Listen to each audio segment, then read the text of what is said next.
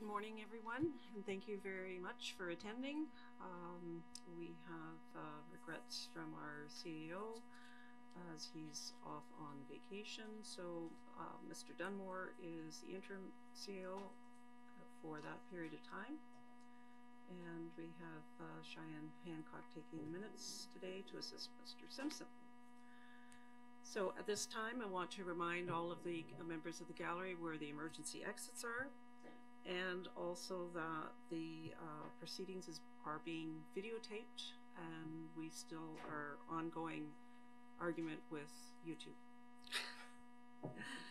Disclosure of pecuniary interest of uh, members of council can be made now or at any time throughout the meeting and they must be submitted in writing.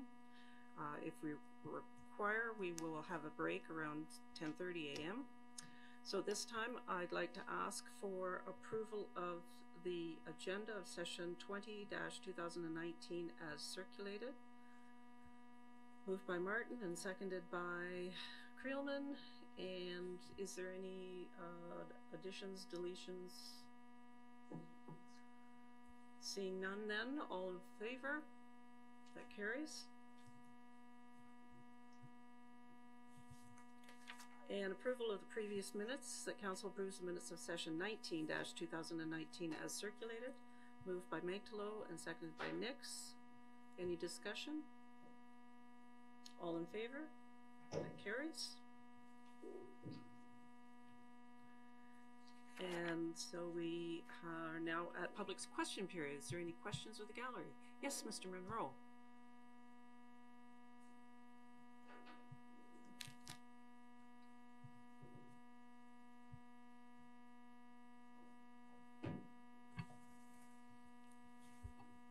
Bill Monroe, 13 Bayberry Road, Mono. Morning, Your Worship, councillors. I have a question to ask about uh, budget item number four, the delivery and efficiency study. The letter in the, from the CEO told us that uh, the government gave us back some of our tax money as a grant of 500,000. It's uh, an efficiency study to get to, to my point of it, it's the bottom. He's talking about an internal study, efficiency study. He's suggesting it is done internally as opposed to getting a consultant. I, I think this is a bad idea. For transparency's sake, at least, it should be done by a consultant. And while I grudge every penny they get, for transparency's sake, and to get a usually a very good report, I would suggest that you go to uh, an outside agency for that, Your Worship. Okay. And uh, Mr. Dunmore, did you want to comment on the rationale? The way that I had interpreted Mark's uh, report was that he may use the same uh, consultant that the county is using and or should he not be happy with that consultant we would uh, look to another consultant. I think what he's trying to say is we want to do an internal efficiency study. Maybe it was misleading to the point that he said that we were going to do it by internal staff but i think the the goal and fred can correct me if i'm wrong um, was to have a consultant perform this study. He says, I am proposing that a similar review be completed internally ideally followed following the county study. So he's No, Mark's, Mark's intention, and we did discuss that, by internal, he means the town of Mono vices the county of Dufferin study. As he says in it, the intention is to consider piggybacking on the same consultant that the county's so using, it isn't going is to be internal mentions. to mono. Right, so he's referring to town of Mono when he says internal. Yeah, but who would do the study? Who physically would do the study? The, the intent is to consider using the same consultant that the county's using because it's in the RFP from the county that that consultant could be available for lower tiers within the county to use. Yeah, and you can also go to another consultant, like I said. Well, sure, at this Yeah. point, that's a recommendation. Okay, but it will be done by someone outside. Thank you, Your Worship. Thanks. Any other questions of the gallery? Seeing none then, uh, we do have a delegation at nine fifteen. So, uh, we could, uh, continue with unfinished business and deferred items, the Fire Marque Indemnification Technology Program. Is that okay? Okay. And uh, so that uh, report is provided to you in, in the agenda. Uh, so, Mr. Nix, you'd have some comments? Well, when I initially read the staff recommendation, I wasn't sure I could agree with it because I, we're leaving unclaimed insurance money on the table uh, until we sign that agreement. However, in discussion with Les and Mark before he left, uh, they did raise some good points that I couldn't. For example, let's say we do sign the agreement and Fire Marque now collects uh, insurance money from the whole area of Mono. Some of that is going to go to the Orangeville Fire Department. Well, as Les and Mark asked me, okay, uh, Orangeville Fire Department, they have a sort of a costing model. It's not uh, town specific. It's just that here are all the calls we do outside the town of Orangeville. Here are all the calls we do inside the Orangeville. Blah blah blah blah blah. And here's how much the township should be paying us. That's how. That's how they arrived at. That's why our fees went up. Their their charges to us went up 25 percent um, a couple of years ago, which was quite a stiff increase. So the question is, let's suppose we sign with Fire Marque, and now they start capturing some of that insurance money, and some of it's going to go to the Orangeville Fire Department. Would that be reflected in the fees they charge us? Well, I couldn't answer that, so I, I agreed after talking to Les and Mark that I don't mind holding off. And, and there's, there's other questions they raised too. But I don't want this uh, recommendation that we defer a decision on it to mean, you know, you know, a year from now, we're still, uh, okay, I, I think, yes, you've raised some good questions. Let's see if we can get some answers to them in, in the next month or so and ha- have this item back on uh, as a future agenda. Councillor McDowell? Uh, I, I have three, uh, three thoughts about this. Um, one is that the flow of money is not clear. Yes. Um, in fact, uh, at our fire board meeting, um, last night, uh, which uh, included Adge Toss, they were convinced that the money went direct, back directly to the municipality.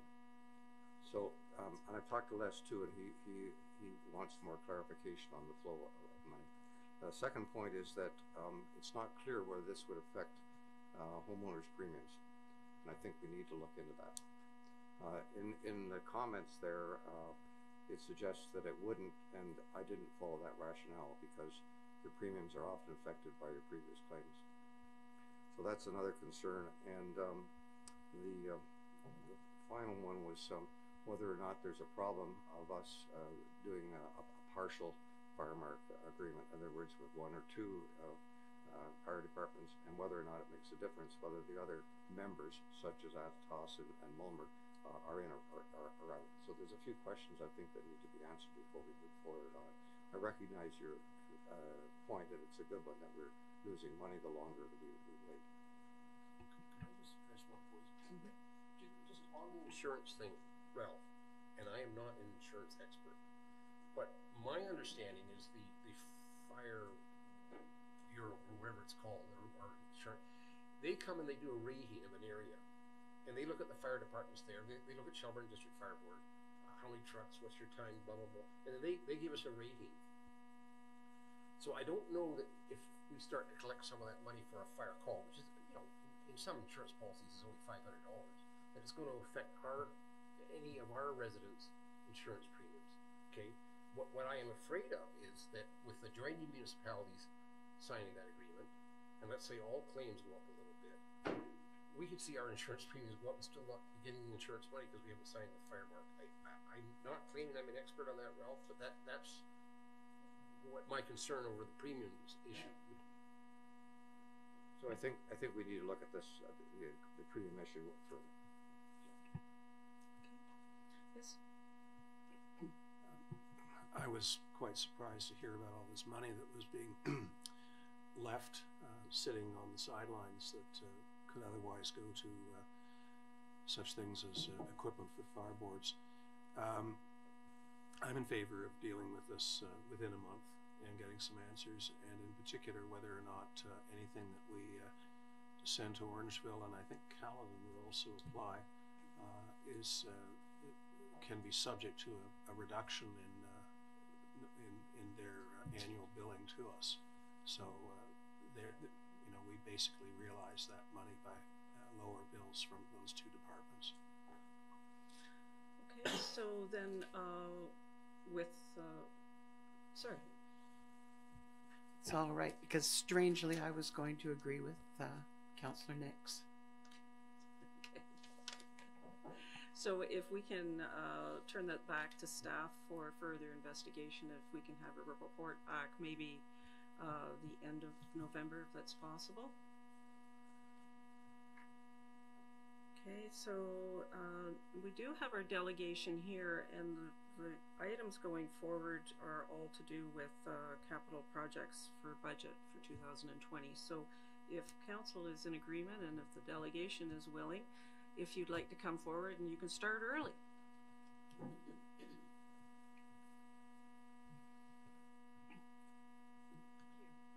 morning, everyone. Good morning. Oh, Thank you.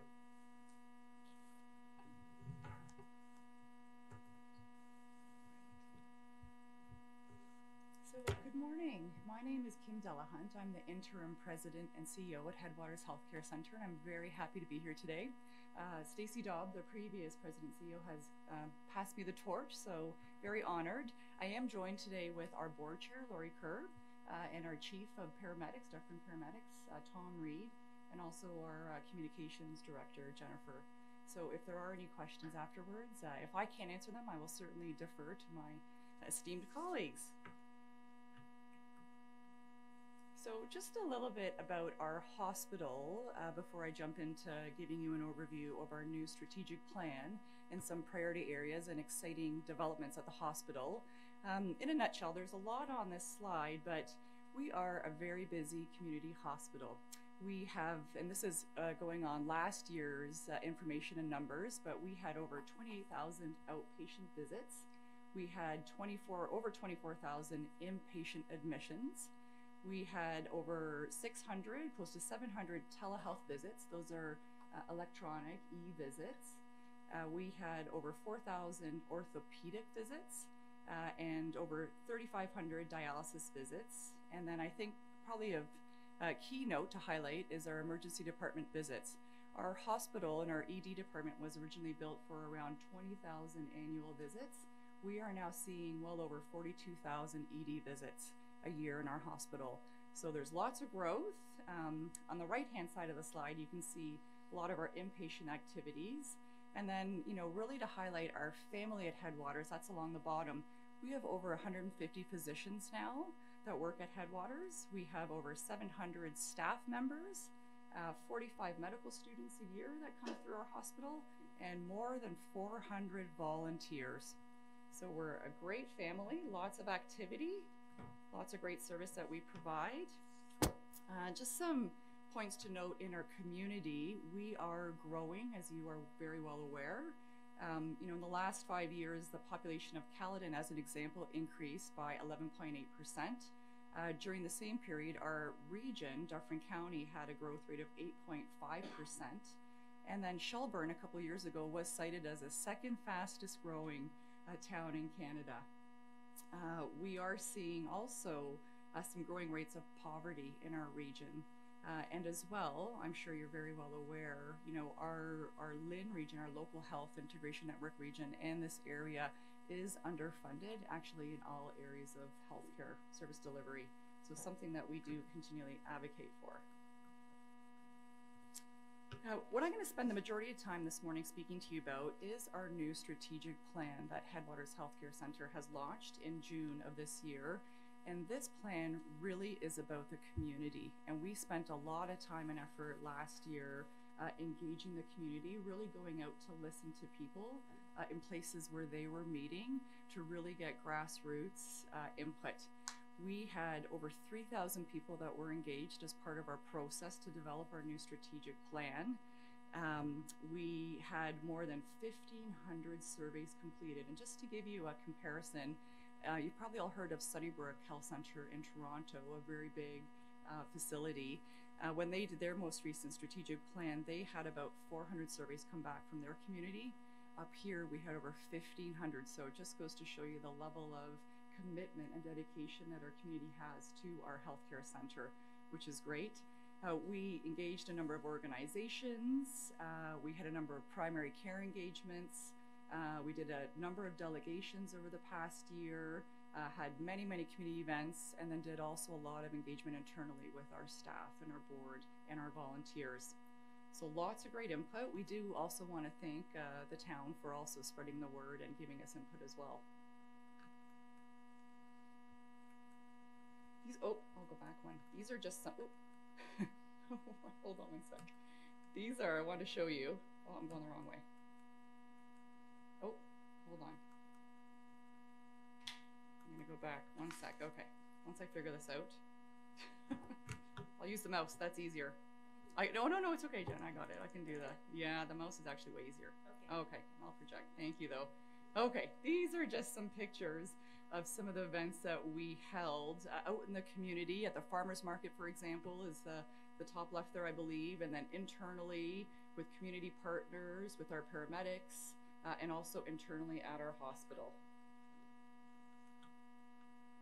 So this is a high-level snapshot and overview of our strategic plan. And what we have decided and what we did at Headwaters is we moved away from the typical kind of mission uh, vision. We actually have now one purpose that we are working towards as a community with our partners, and that is really one community caring together.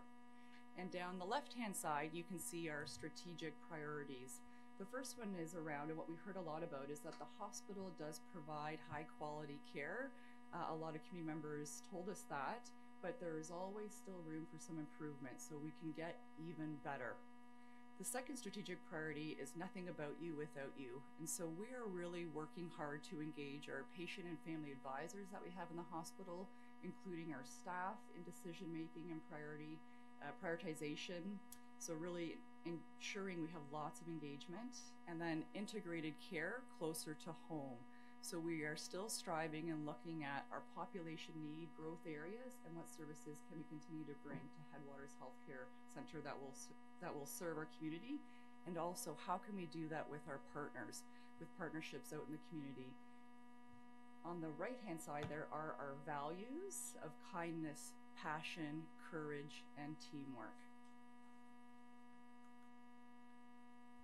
some key hospital updates, and they do align with our strategic priorities. You may have heard about Ontario health teams. So there is a lot of provincial change happening on the healthcare landscape right now currently. Um, the biggest one is that Ontario Health is a new agency that is being formed in Ontario with the 14 local health integration networks and six other agencies merging to form one big provincial body. And then locally, the province put out a call for applications for communities and partners, hospitals, primary care, home and community care, to come together to develop an integrated health team. Uh, in up in Headwaters, and we are calling ourselves the Hills of Headwaters Collaborative. Uh, we did bring together partners, key partners, community members, patient and family advisors, and we did put in a submission uh, in the spring there were 100, over 130 submissions put in provincially. 31 of those were invited to move on to the next stage and to submit a formal application. We were one of them. Uh, we held a big symposium to really garner our common purpose, and we did submit our full application actually on October 7th. They were due on October 9th. We submitted on the 7th, and we actually just received a letter from the ministry last week that they will be coming out to do a site visit, which is the next step in the process to really evaluate are we ready as a team? Are we becoming integrated? Are we ready to become designated an Ontario Health Team? So, all very excited. Very exciting work. Some other key hospital updates. There is a lot of growth and increased volumes happening at Headwaters, which is very exciting. Uh, we now are offering um, increased cancer treatment services. We're starting to work towards people having their first appointment at Headwaters uh, instead of going to Southlake or Brampton initially. Uh, we now have on-site chemotherapy preparation, which allows medications to be prepared on-site instead of having them brought in. Uh, that's more convenient for our patients and families, and also internally, it's more cost-effective. We also have a new urology program, and we have recruited a new urologist, Dr. Moodley, who began working at Headwaters several months ago. And we're also working very hard to make some inroads and provide better palliative care to our community. And in fact, um, our primary care physicians have come together and committed to whether or not a palliative patient is rostered with them or attached to their practice, they've committed to providing palliative care to all of our residents in Dufferin County, which is really exciting. Some hospital facility improvements that we currently have underway. Um, you know, several months ago, we, piled, we partnered with the Smile Zone Foundation, and that's a foundation that supported us uh, in the past as well. But most recently, they did a complete refresh of our pediatric space in our hospital, as well as two family rooms. And you can see a picture of that up top. They, you know, painted and brought in large, colorful murals, uh, right to new paint on the wall, and they also supported with some electronic devices for kids and new TVs and furniture. So that has really brightened up that space, which is exciting. We are currently undergoing our lobby renovations to create a new welcome center. You probably recall, if you've been to Headwaters, the, the dangerous spiral staircase that we used to have there. That has been torn out now. Uh, we're going to build a brand new safe um, staircase and as well a new uh, upgraded gift shop and ca- cafe shop, and then also uh, central regis- registration kiosks uh, will be there, and you can pay your bills right as soon as you walk in the lobby, register for appointments. It'll be very, very seamless and very patient and family friendly. Our emergency department, um, you heard me speak earlier of our increased volumes, which are more than double. Uh, that space does need to get upgraded and enlarged. We are in the final processes of receiving a ministry approval uh, to proceed with those renos. Those will take about three to four months, so we're excited about that. And I should mention that the, the Welcome Center renovations and the Emergency Department renovations are all graciously being supported by our foundation and auxiliary and donations from the community, which is wonderful. Our Friendship Gardens uh, continue to be uh, an amazing sanctuary for our patients and families and staff, all of us. I have to tell you, when I um, first arrived at Headwaters, and I am from the region, but to get a tour, you know, of the gardens with Lynn Sinclair Smith, it's just, it's unbelievable. Every room has a view. Uh, there are gardens that are, you know, in memory of folks that are have contributed or have been, you know, longstanding community members. It's just, it's amazing the work that is done in the gardens and the and truly the the sanctuary and the relief that it provides to all of our patients and families and staff. Um, in terms of some other opportunities and, and areas that we're working together, so I talked to you about the Ontario Health Teams and how we're working towards that, partnering with a number of our communities. Um, as well, there are some, you know, changes, other changes that are occurring um, in the environment. You may have heard about public health and the restructuring that the province is looking at there, potentially going from 35 public health units down to 10. Potentially, they're also looking at um, ambulance services and looking at consolidating those as well. Um, along with the provincial Ontario Health One organization that they're going to create, they are also looking at dividing the province into five uh, regional or regions or health regions. Uh, for us in Dufferin County, what that means is that we will actually become part of one with uh, three other LHIN areas, but in terms of municipalities, it you know it will include York, Simcoe, Dufferin, Peel, and Halton. Will actually fall within the biggest region in the province. And so we'll just have to make sure that the voices of our, you know, smaller communities as compared to, to some bigger ones are still heard and our needs are still heard and met.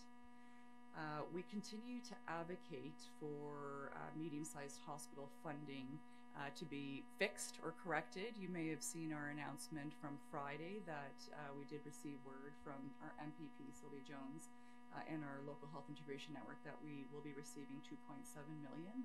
Um, at this point, that is one-time funding. We are still going to advocate that that becomes base. So going forward in future years, so we will still continue to advocate, and that the the funding formula for hospitals gets corrected as well, for medium-sized hospitals.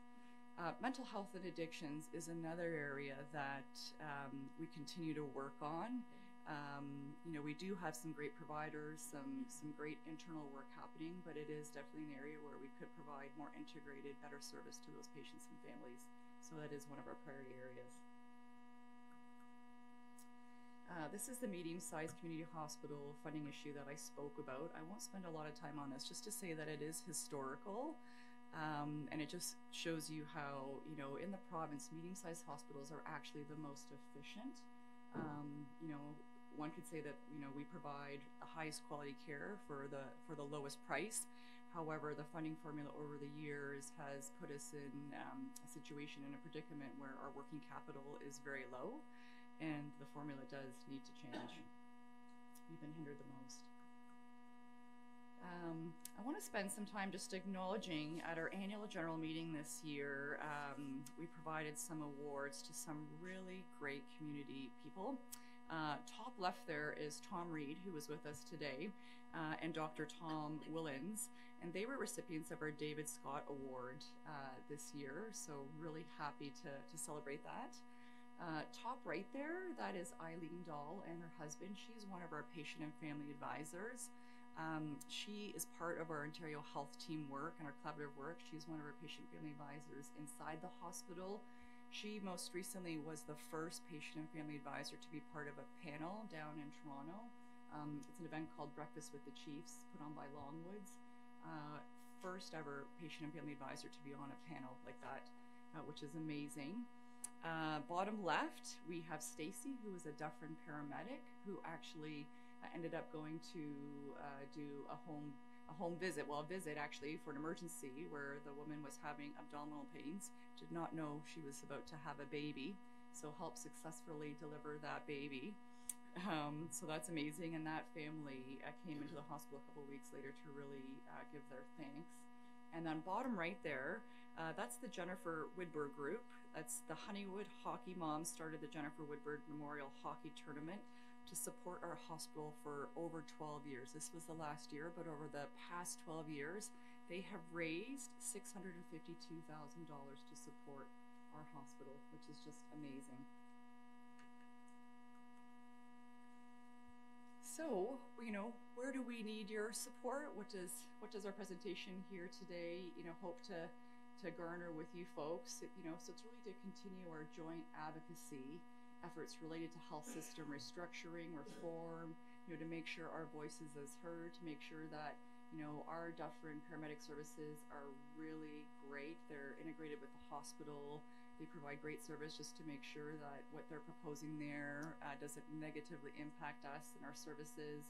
Uh, public health, again, even with, um, you know, the regional restructuring that's happening, I think it's just important to make sure that our voices and our needs are always heard and that we continue to advocate for bringing care closer to home. Um.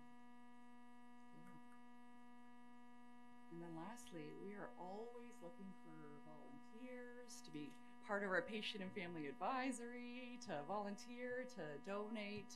Uh, and of course, if ever you have an experience at our hospital and want to share any feedback with us, we're always open to that as well. Thank you for your time today. Thank you very much for your presentation. Are there any questions for council? Councillor Nix? yeah, I don't know too much about the subject, but I, I'm intrigued about these health or these teams that you talk about. Mhm. I'm, I'm not quite sure I understand it. Does that mean the hospital as an entity is teaming up with other agencies? Like, w- w- w- give me an example. Like Yeah, so that, drugstores or retirement homes, or So- so- what's a team? it's a great question. So um, I'll give you a bit of background, then I'll bring it down to the team. So the province, there are 14 LHINs right now in the province that, um, and then there's Cancer Care Ontario, eHealth Ontario, the Trillium Gift Foundation. There's a number. They're gonna all integrate to become one big en- big entity called Ontario Health, and then underneath Ontario Health, the province is gonna be then divided into five regions uh, which are going to oversee the funding and flow of money to hospitals, long-term care, community support service agencies, um, mental health addictions agencies, and then underneath that, the province is going to be covered. This is the plan by Ontario Health Teams. And what these teams are are so initially they signaled that they were looking for hospitals to come together with primary care providers and home and community care Home and Community Care currently sits under LHINs, and Home and Community Care are the service providers that go into your home. So, like the St. Eliz's, the VONs, the Bayshores, they're the nurses, the personal support workers that go in. They said that initially you need to have at least hospital partner with primary care and home and community care to form an Ontario Health team. Um, so what we did in Dufferin County, and, and ours is actually Dufferin and Caledon, uh, we actually invited all of the partners who are currently providing service in our area, so within health, uh, initially to come together to start looking at partnership opportunities. At the fullest maturity, there will be a geographic area attributed to each Ontario Health team. So for us in Dufferin Caledon, it's about 112,000 residents that cover so and we'll be responsible for providing all of the health care for them. Can I, can I just interrupt though? Team, does that just mean you're, you're a group talking to each other more, or does No. it oh, mean you? So you- at maturity, it means that there will be one funding envelope and one accountability agreement with the Ontario Health Team and Ontario Health.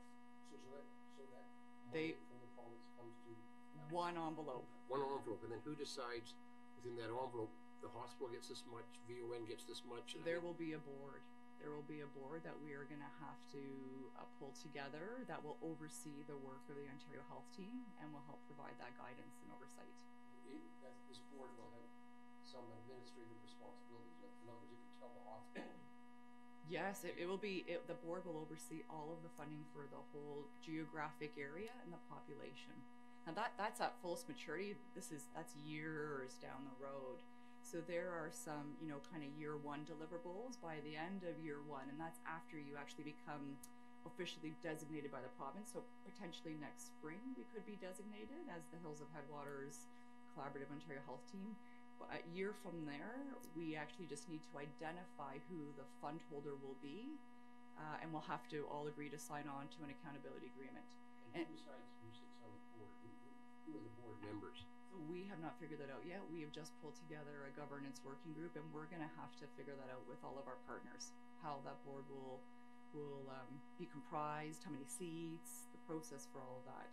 It's it's really big. It's a, it's a big integration that is going to happen across the province. I'd like to keep asking questions, but I know.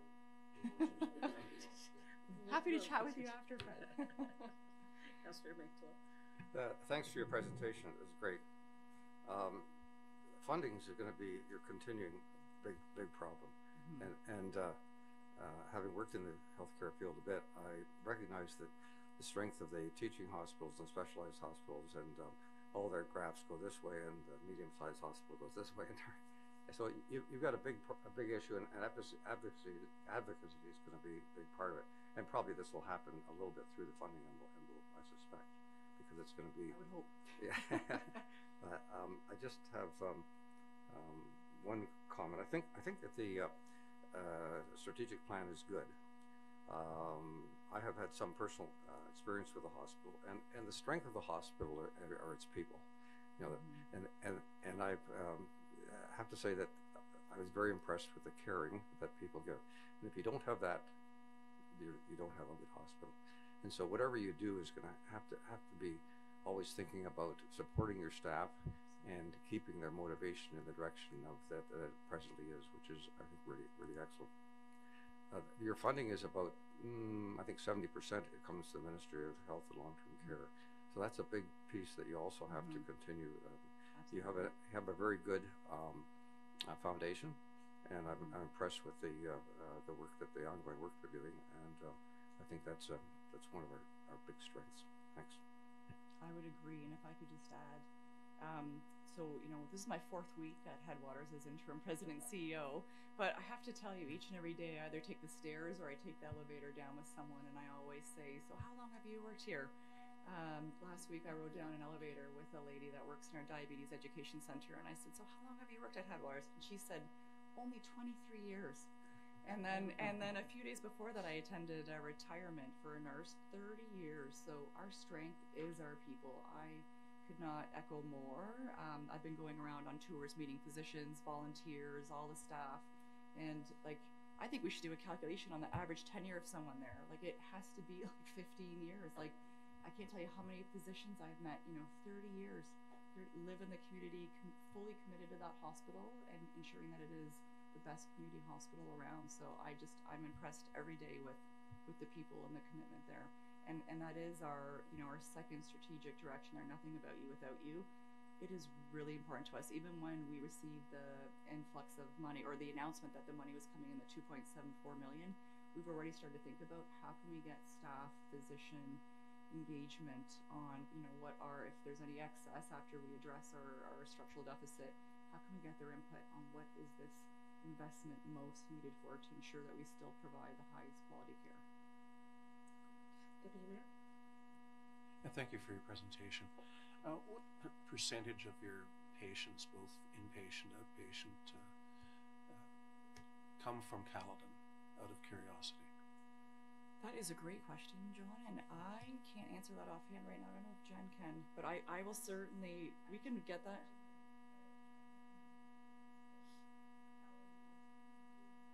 Yeah. We can, yeah, follow up with you. I was on the hospital board for six years, many, many years ago. Uh, and I recall it being in the range of twenty percent back Yeah. then. Yeah, I wouldn't be surprised if it's, if it's greater now. yes. Um, I hope you have an opportunity to make this presentation to Caledon Council. yes, because yes. We have a it- date in December. That's right, Per- December perfect. seventeenth. That's Yes. great. Yes. because we went, and, and Tom will remember this, we had such difficulty getting Caledon to the table when Headwaters was being built to make a financial contribution. Uh, the county uh, contributed $6 million, which we were able to um, uh, build interest on, and it ended up being over $7 million towards the construction of Headwaters. And I don't remember uh, what Caledon did, frankly, or Peel Region. But I think it's really important when we're facing all of these momentous changes that they are uh, involved and, and feel involved because they will carry great political clout uh, that we will need uh, to continue to get people's attention. Absolutely. And I will just add that uh, for our Ontario Health team, so our partners down south, so William Osler um, Health System, they also submitted an Ontario Health Team application and they were looking at their geographies the same time we were looking at ours. And I will tell you, Caledon did have a decision to make. Do they want to come north with us? Uh, and we were asking them to consider coming north because there is a natural flow and we'd like to capture even more. Um, and they did uh, make the decision to partner with us, which is great. So very excited and hope to capture more of the market share there because we do know that some of them still do go south for some services, but we'd like them to all come north to our great facility. Thank you very much for your, uh, all of this information. It's, it's fascinating to see what's going to be happening. And uh, one of the things we rely on going into the hospital is what you're talking about is the kindness and um, consideration that patients get. And I have a fear that when we push everything together, that sometimes what happens is there are all the efficiencies and the patient sort of sitting there. And also, I want to say that um, uh, I've had really good feedback about what happens in the emergency department. Fantastic. It's uh, a great place to go if you have to. Mhm. So, thank you very much. Thank you. That's great. Well, thank you very much for taking the Thank you. time and for the rest of your team in Yes. attendance. Uh, it's nice to have the update uh, given to us personally, Yes, thank and you. uh, we will continue to uh, look for great things and Great. uh, Thank you. support Thanks for your wherever we time this can. morning. Thank you. Okay, thank you. Thanks. Okay, so now we're on to the 2020 budget. So, Mr. Halucha, did you want to guide us through this, or are we just going by department head presentation? Uh, each, each department head will present their own capital budget. Okay, Um, it's a process that's, you know, we've adopted in, in previous years, that we put forward capital projects from each department. Uh, it's an opportunity for council to tell the department, okay, did you consider another project that may not be on the list? So that way we'll get it on the list, and then it'll be in the fi- in the draft budget coming to council in November. Or there might be a project the council might say, there's no way we're doing that. it's not a priority for us. So this is a, a kind of like a wish list. Well, maybe that's not a good word, but it's a list of, of projects that at the staff level we have identified.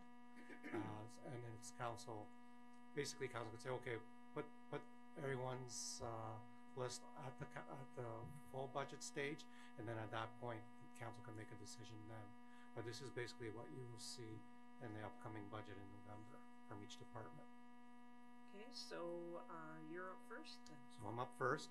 Um, technically, under capital budget definition, uh, what I have listed on my, uh, project list isn't capital, because capital is usually a tangible asset. But this is more kind of ongoing, uh, when it comes to computers and software. Uh, the world's moving away from, uh, actually buying software. We're, we're finding we, we have to lease it, or we pay annual license fees for it.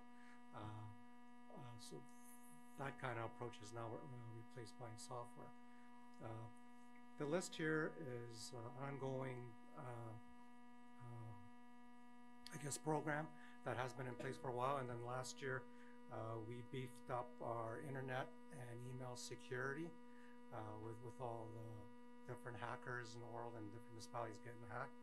Uh, the first cost uh, is for computer hardware and uh, uh, any kind of software software replacements. Um, last year's budget was 20. Uh, I'm proposing 25,000 for 2020. The additional 5,000, we're we're at a point uh, that we have to update our payroll software. Everyone's going to the cloud these days, and we're still at that desk base. And if, I mean, we can continue with the current payroll, but we would have no support, technical support. But sometimes you do get when uh, government rates change and there's new formula, we, we need that kind of support.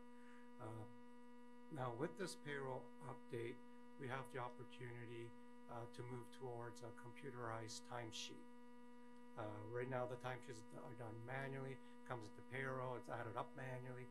This way, uh, the hourly worker would go at the end of the day to, to a desktop and punch in their hours, and actually, for every hour or every whatever section, of time, he could allocate, uh, there'd be a drop-down menu where they could allocate to, ac- to an activity. So, so it makes payroll far more efficient. And then that, and then once that time card is completed, it comes into payroll and payroll is processed. To do that, uh, most, I mean, we have already staff at the, at the, the rec halls, and then of course the public work workers. And the numbers increase over the winter time with the seasonal help for winter maintenance. We're looking at, at the very least, uh, setting up three workstations over at the shop. Only because at the end of the day, we don't need, lost track how many guys over there. There's about twelve, between twelve and fourteen guys trying to punch in their hours. So this will allow time for people to go in. Uh, that additional cost, figure three workstations, about five thousand dollars. For network security, uh, uh, we started the program last year. Uh, the software is called Darktrace. The annual license fee uh, is is the fifteen thousand two sixty five net of our tax rebate. We had budgeted uh, last year nineteen thousand eight hundred. We were able to obtain a better deal on an annual basis because we, we gave them a five year commitment. So we were able to save about forty-four, forty-six hundred dollars a year. Uh, as well, last year we started the backup to the cloud. Uh, gives the far more flexibility if we ever do get hacked that we can go back almost forever until the time they take took backup to find where our data was, uh, say, virus free, and it's really easy to, to back system. And of course, it happens automatically. Uh, our past system, we had a, a hard drive that we had to put into a machine. Sometimes the power went out, that would throw off the backup. Whereas this way, there's there's no issues with it. And then that cost, an annual cost is approximately ninety-four hundred dollars. And then ongoing, uh, you find the pit here. I've I've always been asked, why is the gravel pit under admin? Uh, historically, the clerk's department owns the pit. Uh, so every year we set aside ten thousand dollars towards a reserve for fu- future uh, rehab on at that pit. Yes, Just a, a general question. Um, are there any savings to be had uh, by um, cooperating with uh, other Dufferin municipalities in terms of purchase of, uh, of software licenses or uh, security uh, uh, measures or cloud measures? Have we exhausted any possible um, opportunities there? Um, we, we had, the- actually, we, we've always had that similar question from the previous deputy mayor, so it's kind of nice getting the same. It's continuing. Uh, we do look, we do work with the county quite extensively and with the town of Orangeville. Uh, we share ideas. Uh, working, obviously, Orangeville is running our water system, so we're working together with them in our SCADA, SCADA updates. Now, that's the water budget, but we work with them. Uh, Jake does talk to the county as far as hardware purchases. Uh, but they seem to have a higher budget for soft, or not for software, for hardware. So, uh, we usually selected, uh, I guess, a more eco- economical price for, for our hardware. But yes, we do talk to, to, to our, uh, partners. Any other questions of council? Okay, thank you very much. And now we're on to recreation. Kim? Um, the recreation capital budget for this year, um, reflects, um, a few things where we need to, um, rejuvenate, I guess is the best word to put it. Um, starting at Monora, um, Monora is now, um, believe it or not, thirty-one years old. And, um, the, the deck that's there is the original deck. Um, we have been, as necessary, trying to replace a board or two. Um, but it's come to the point now where the number of the boards on the deck have become soft. They're, um, they're needing to be replaced. So, over the course of the summer, we had a number of contractors come in and take a look at the, the deck. And um, they all assured us that the actual framing for the deck is still in, in good condition, that we wouldn't need to touch the frame. But a number, or the majority of the boards, do need to be replaced. Um, what I did when I spoke with the contractors, myself and Dave Mikowski, um, we talked to them about the possibility of using the new composite decking um, as opposed to pressure treated wood.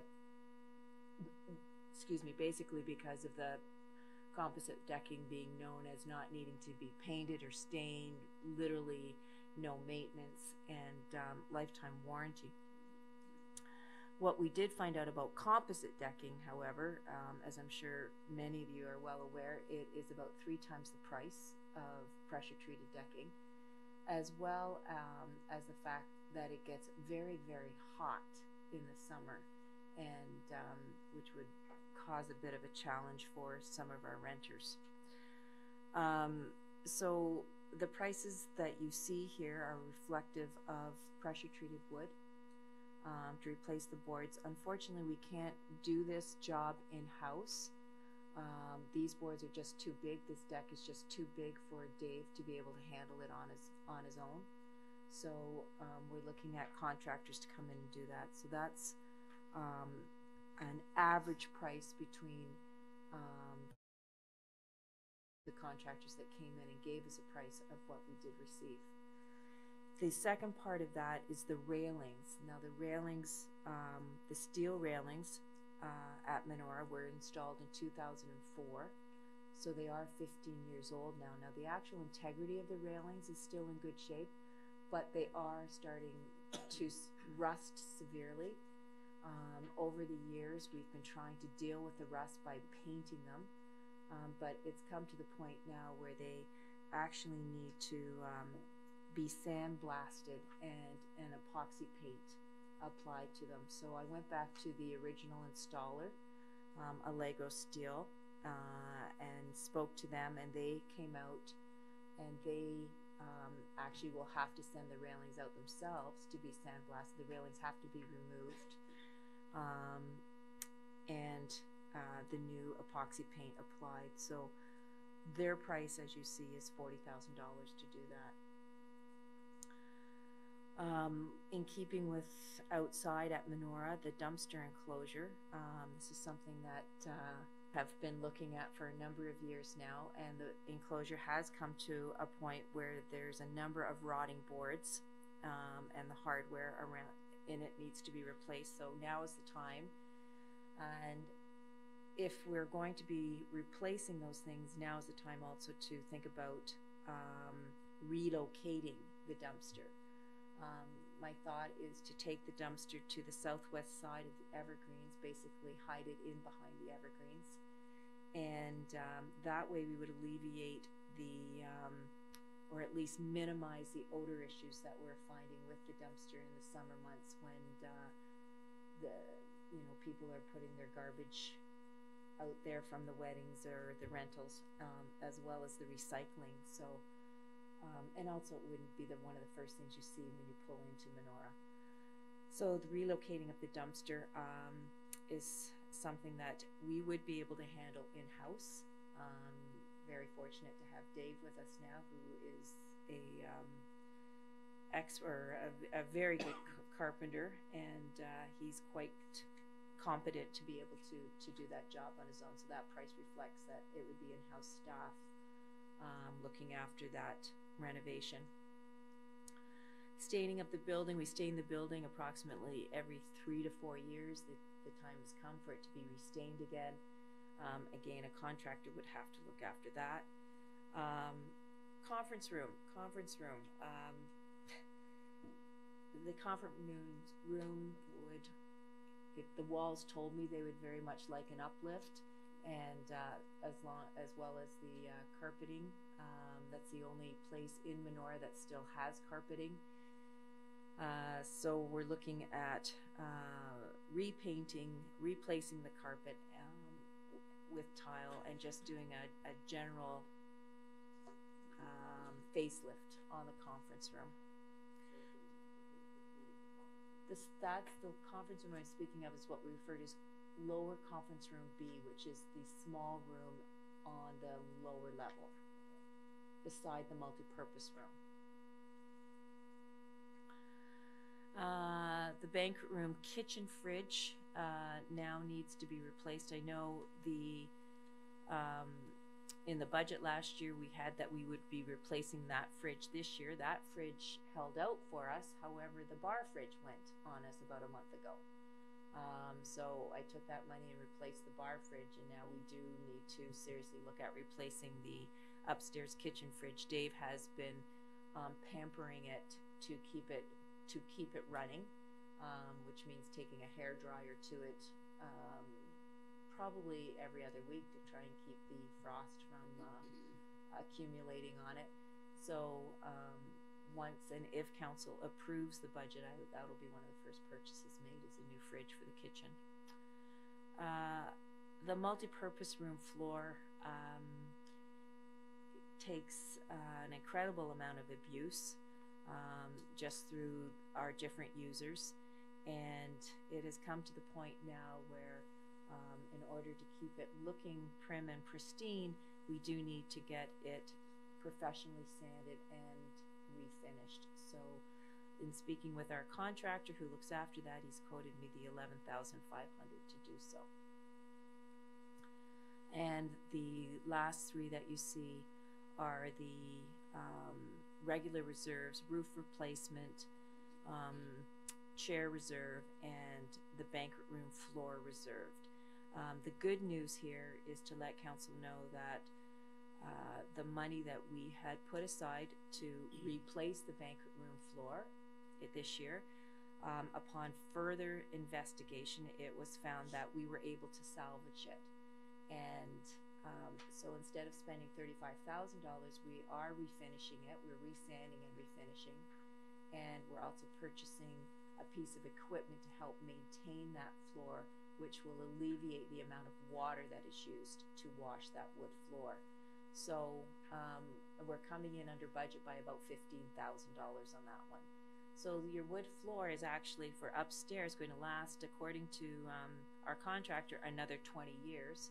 So starting next year, I'm looking at putting um, money into the reserve t- for 20 years uh, to hopefully have $45,000 by the time we you do need to replace that reserve. I'll say you do because in 20 years I certainly do not plan on sitting in this chair.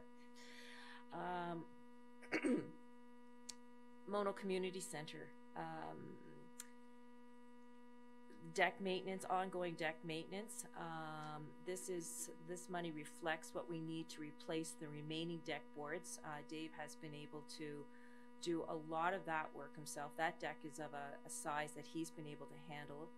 But what he can't do is replace the deck posts. Um, they've now rotted and they're peeling. And, excuse me, and if we're going to be replacing the deck posts, we may as well at the same time repa- replace the two light fixtures which do not match, um, and uh, get the decks or the get the posts stained as well. Lower washroom renovations um, looked ex- extensively this year at um, trying to uh, renovate those washrooms into accessible washrooms. And as a number of contractors said to me, unless I am looking at doing a full accessibility renovation with door openers, closers, ramps, etc., why would I be renovating washrooms to make them accessible when you can't get into the building in the lower level? It's not accessible. Um, I then further investigated and found out that because we do have an accessible building, a rental facility being Monora, um, that we are um, alleviated from the uh, need to have to make Mono Center accessible. So what I've put before you then is getting those washrooms renovated. Basically, they need a full overhaul to the tune of twenty-four thousand dollars. Again, that would all be done in-house. Dave did the washrooms at Monora this year and um, is quite happy to continue with those types of renovations for next year at Mono Center. Uh, vinyl tile in both stairwells. Um, the, the tile that we put on uh, probably 25 years ago on the floors in the front and back hallways is now starting to peel and to crack. Um, the stair noses are lifting. And at this point, um, if we're going to be doing that, the original railing in the back stairwell, which comes from, which is from 1987, it's the old wrought iron type railing, um, could be replaced as well. Uh, we're looking at to do the floor and the railings, ten thousand five hundred dollars. And the last but not least, our fridge in the upstairs kitchen. Again, it's been pampered over the years. That fridge hasn't been replaced in 30 years. We're looking at $4,400 to replace it as well. And then you're looking at your regular reserves. Moving on to the parks, Mono Community Center Park. Um, this is the park where we um, house the one of the large uh, the largest community skating rink and um, we also have the multi-purpose pad well that multi-purpose pad uh, which was originally constructed in 1999 the boards around the pad um, are now splitting they're cracked and um, definitely need to be repainted so in order to replace those boards um, again an in-house project uh, we're looking at ten thousand dollars, and that would alleviate um, the number. There's there's holes in those boards right now. Um, they are causing a liability concern. We're doing the best we can to to remedy um, those concerns. Um, however, we're it, it's come to the point where we need to look at doing the whole um, multi-purpose pad boarding again. Mono College Park, also known as Cardinal Woods and this is um, the swings, the, the actual playground. When we put the playground in back in 2013, we did put a rubberized surfacing in, which is the, the most, the best I can say about that. It's phenomenal. Um, we've put it in as well out at Mono Community Center at that park. Any problems I've ever had with it, which, ha- which have been few, I've called the contractor who put it in, immediately goes out and remedies um, whatever my problems are. So little, no maintenance, absolutely no maintenance with those. Um, where we did not put rubberized surfacing at the time we did this was underneath the swings, and that was due to budget constraints for that project. And now, in order to um, alleviate from having to rototill and um, the pooling that happens underneath those swings, and just for um, concerns regarding liability, I'm asking council to um, look at removing the sand and replacing it with rubberized surfacing, which will be approximately a cost of twelve thousand two hundred dollars. And playground equipment reserve for that park is fifty-three hundred. Lloyd Armstrong Park is in pretty good shape. We've got our ball diamond up there, um, which unfortunately does not get used a lot. Yes, there are some things that we could do up there, but until I, I see a strong need from the public, I'm not putting anything forward to council. Uh, Island Lake Family Park. Okay. Um, Island Lake Family Park. Well, first thing first is your playground equipment reserve. That's your annual reserve for that, seventy-seven hundred. And then the following um, numbers are numbers that relate to the resolutions made by council um, regarding that park on changes that you wanted to see. And these are um, new numbers or numbers that are the same, um, but just reflect the changes that council wanted. So, uh,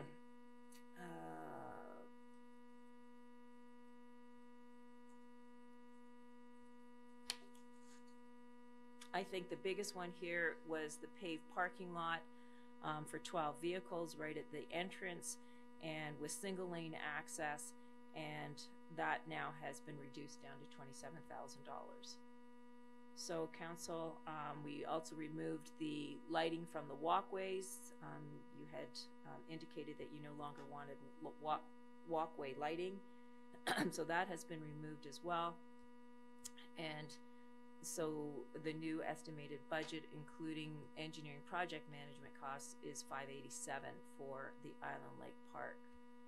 Um, Fieldstone Parkette. Um, again, we removed the multi or the basketball playing area and the three-hole disc golf.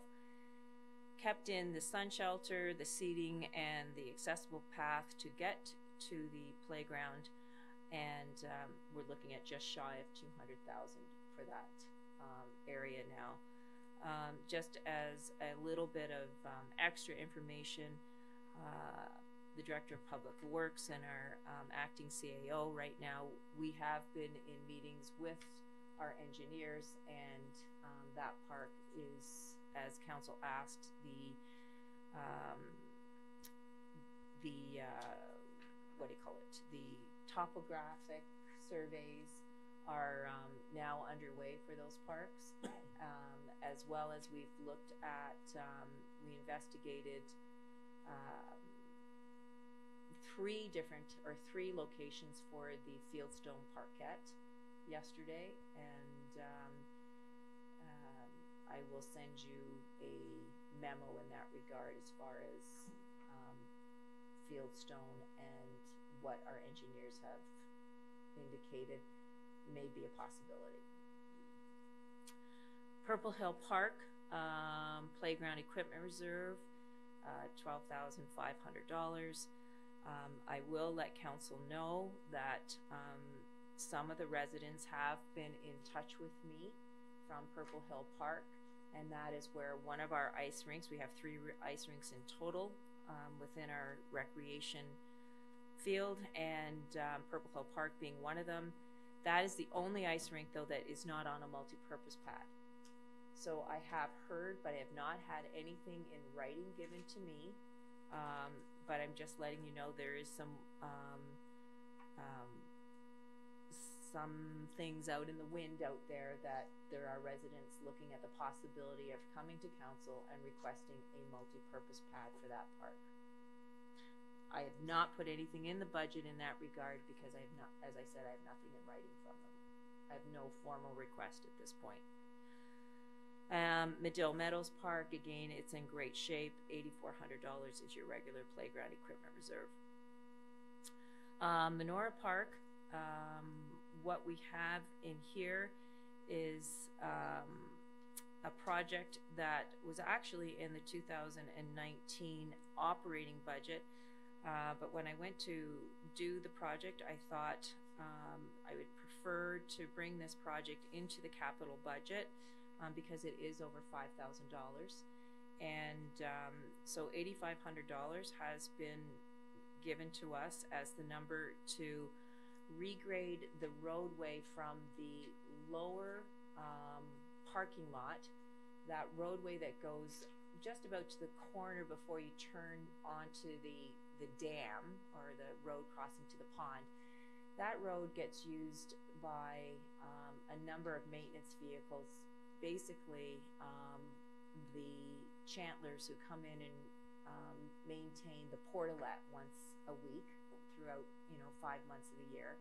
And they tend to really eat up our little driveway there. And um, it's in pretty rough shape right now. So that driveway definitely needs to be regraded. It needs a load of gravel put on it. And um, while doing that, economies of scale tell me that now is the time in order to be able to um, get uh, allow people to get to our picnic shelter and to our gazebo um, for accessibility purposes to build an accessible path to both of those areas. So to do those two things um, and build those two paths, we're looking at eighty-five hundred dollars in total. So I wanted to bring that to council's attention. And um, at this point, that's the recreation's capital budget, unless council has things that I've missed or things that come out of the woodwork on us at the last moment. Councillor Martin, would you like to ask a question? Thank you. Um, uh, one, I'm just curious about the, um, the deck at, uh, Monora. That, don't, isn't there something that they can put on after a year when you put down, um, um, the, put down the decking, the pressure treated decking? Isn't there something that can go on that? I'm, I'm sure that there's, isn't there something that goes on it, like a stain or something that can go on? Not the first year, but subsequent years? Isn't there something that can do that? That would help it last a little longer, maybe? There is, and, and we have been Okay. putting those items on there. We've just gotten to the point where because of wear and tear and we've gotten to a, a, a safety issue out there now. And um, you might know that moving that dumpster enclosure, five years, here we go. Thank you very much for putting that in there. Um, can I just keep going? The the washrooms uh, down at the Mono Community Center. Um, could the doors not be made wider? I mean, there are times when I I know that uh, there are people who can help someone get through a door if they're in a wheelchair or something. But if the doorways were a little bit wider, it might be helpful for that. It's just a a thought. I don't. It's not making it accessible to everyone, but it certainly would help if you were pushing a wheelchair through that door, which is very difficult to hold, get the door, get the chair in, all of that kind of thing, if there was a possibility there. So just something to think about. And that, um, oh, I'm really glad that something's going to be done with those at Mono, at uh, Mono Center. Those back stairs have taken a terrible beating with sand, water, and grit over the years. Sometimes just going up during the winter is a, a challenge. So I'm really glad to see that that's in there. Hopefully it all stays there. that's all.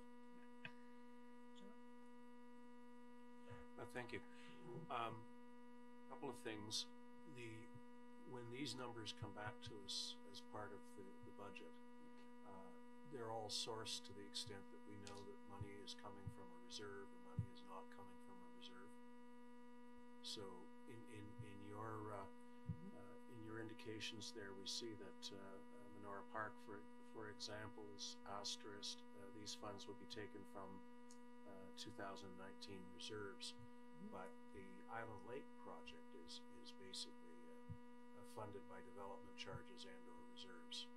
So there's other things in there that I take it are coming from reserves that aren't indicated as coming from reserves at this time. That, that's correct, and that will be reflected when Les presents you with the completed budget, where he has, um, I mean, Les, if you wanna jump in here, but you've always, there's always a category, or there'll be the expenses, and then at the bottom, it, Les always notes how much monies can come from reserves. And the, the, um, the items where you refer to, uh, being done in-house, uh, are the dollar amounts reflective of a nominal, um, uh, salary, uh, cost as well as the, for, say, the boards for the skating rink? That's correct, it is. Okay, so it, it, it, it's not really a cost in as much as we have somebody, uh, in-house who, uh, is, is being paid a salary and would be deployed to do that work? That, that's, that's correct, our labor is much less than what a contractor's labor would be. And, and a third, uh, a third comment, and, and this would apply for the, the public works list as well. Um, you probably have priorities. Probably have things that you feel must be done and other things that could be deferred. Uh, I think that for the budget discussion, uh, a, a list of priorities or, or a way of prioritizing projects uh, is a really good idea because you know best uh, what uh, we absolutely have to do and what we could uh, uh, we could defer to another time. Councillor Nix? I was just curious about this issue of fieldstone parkette. Um, is, I don't, I, i- is it a big possibility of, well, you know where council looked. I- Is that, is there, is there something wrong with that location? Um, actually, that is the location of choice, um, by our engineers and by the landscape, um, designer who was out there yesterday.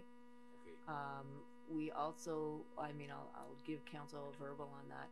We also looked at, um, going over to the water treatment plant, but because of, um, limitations as far as area, because of, um, limitations as far as not knowing when we would be able to do it, because there are four more septic beds, I believe it is, that have to be installed out there.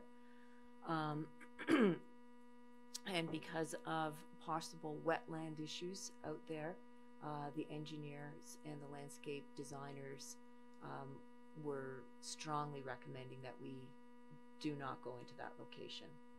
you'd al- also, if you put it out there, you'd have, all the kids would have to cross French Drive to get That's there. correct.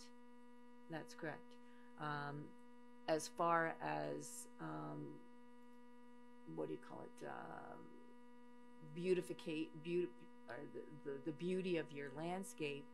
Um, the locations that we originally chose far surpass looking at Highway 9 and the back of the new storage building that's being constructed, because that's exactly what the view would be. Um, we also looked at possibly going back to the original thought, which was where the gazebo is presently situated. And uh, the general thought there was unless we can work some type of playground into the actual um, landscape that is presently there, um, in other words, doing a natural playground of some type, um, because of the issues of the um, the pond right there, um, would that be such a good idea as opposed to the site where we chose when we went on our walk. Um, which, when the landscape designer saw that site, he was blown away. He said, Why would someone not put a park here? So, in a nutshell, that was what was talked about yesterday. Well, that was a whirlwind, Kim. um, I have a few questions. Um, the, uh, the decking and the uh, railings, uh, the, the uh, $40,000 estimate for the re removal of sandblasting and painting.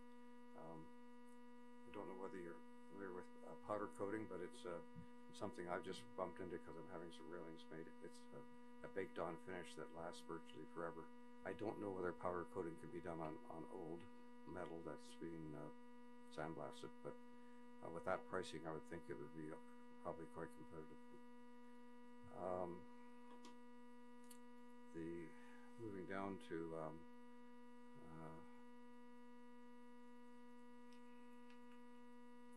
uh, Lake Family Park, uh, what, landscaping is something we've talked about before, and, and I've commented on, on it. Um, and we have a, an estimate here of eighty thousand, and I'd just like to know what, what that involves. Well, the eighty thousand dollars can involve anything from tree plantings to, um, oh, gosh, um, what did we talk about yesterday, Mike? If I can,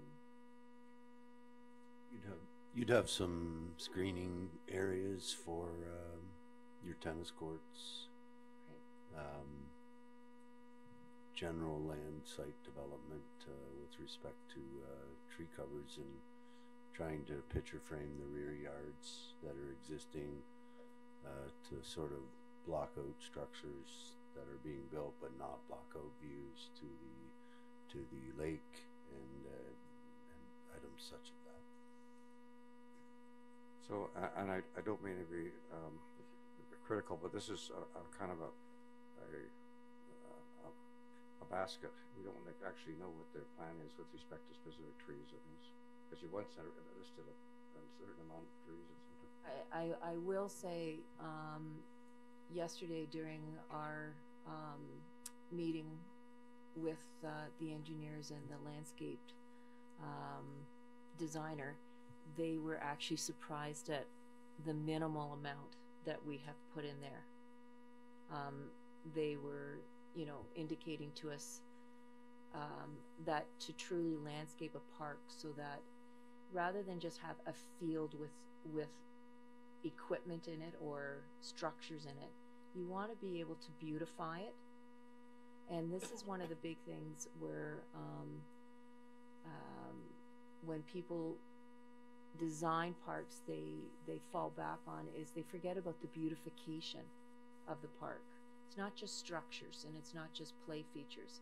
You you do have to make it welcoming to come and have some trees and um, and uh, shrubbery and and you know there are areas where we are going to as um, um, our director of public works referred to we're going to have to block some maybe parking um, facilities from people's sight lines that kind of thing so I, I suggest to council that that that amount at least stay where it is and should um, we not spend it all I would be very surprised but I'm sure council would be pleased if we don't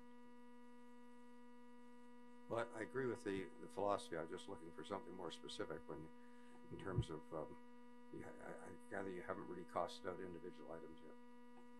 No, but we will be bringing a, um, a new plan, uh, a one, one more final park plan to Mhm. council for your approval, um, which will have some, some of those things indicated on it.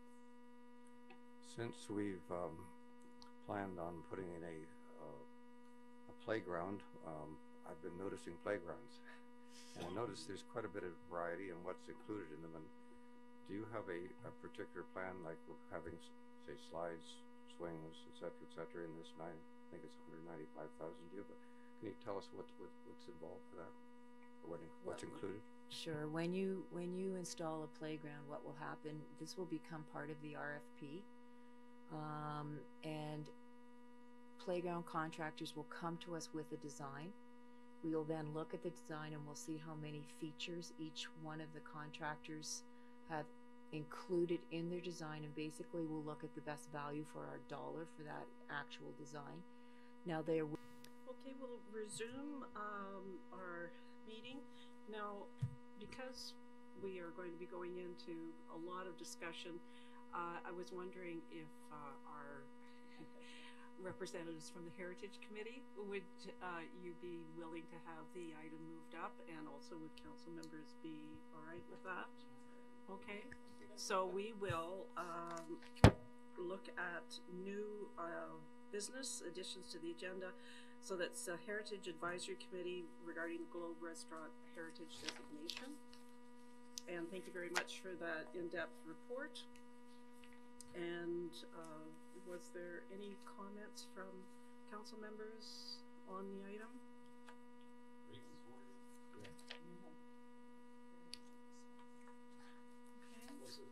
Just, a comment, which I, I, I did tell, uh, Kirsten personally that this is a, a, large body of work, an awful lot of, uh, effort is put into it.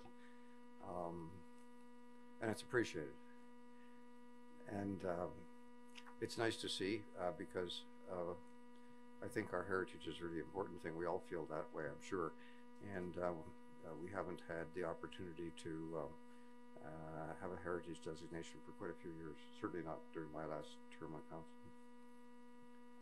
Okay. Yes. I think it's great work and, and the museum is involved in some of the, the work.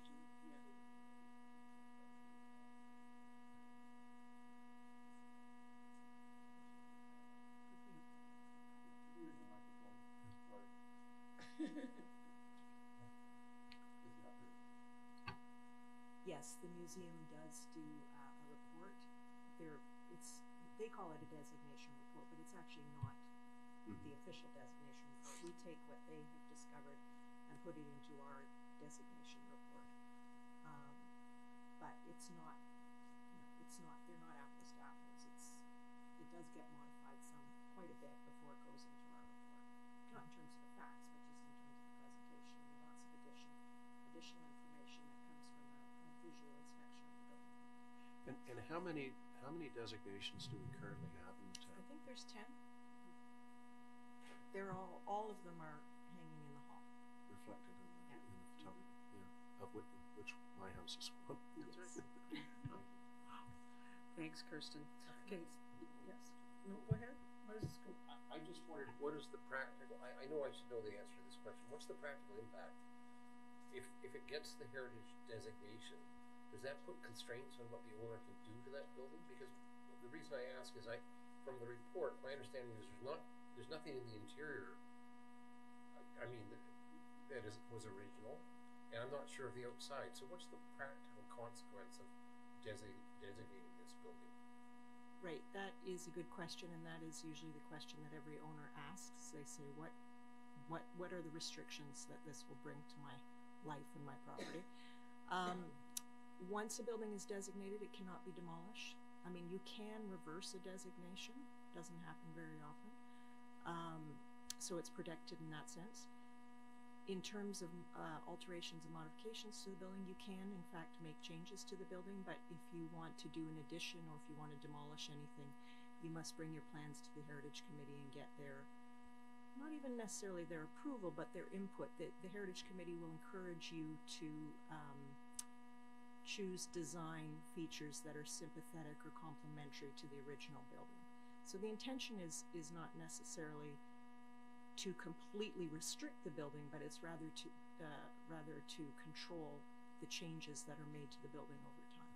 And of course, it can't be demolished, which is the main thing. Do the current owners want this designation? Yes, they do. Why? Uh, well, they initiated the designation. They came to us and asked for it. Um, I believe that she wants it. Uh, you know, she owns three other buildings on that corner. I mean, I think she owns quite a few buildings there now, but the three three main buildings. Um, and I believe that Janice, um, you know, I think she just recognizes the importance of, of heritage and that this is a little uh, sort of pioneer heritage enclave. And I think she just wants to formally recognize it. I'm I'm not entirely clear of any other motives that she has. Um, really the Heritage Committee we're not concerned with her motivation. Um, we only need to assess whether the buil- building has historical value, which it does, so. Um, we haven't had a designation in the past year. However, we have had um, people come with um, uh, proposing additions, ripping things down on houses that have uh, been designated, and we have responded to that. And uh, so, yes, that was that was done as well. And oh, by the way, they did because it didn't impact the um, the building. They were taking something down that, first of all, it wasn't in sight and it was in keeping with the building. So that's why it was. We said fine.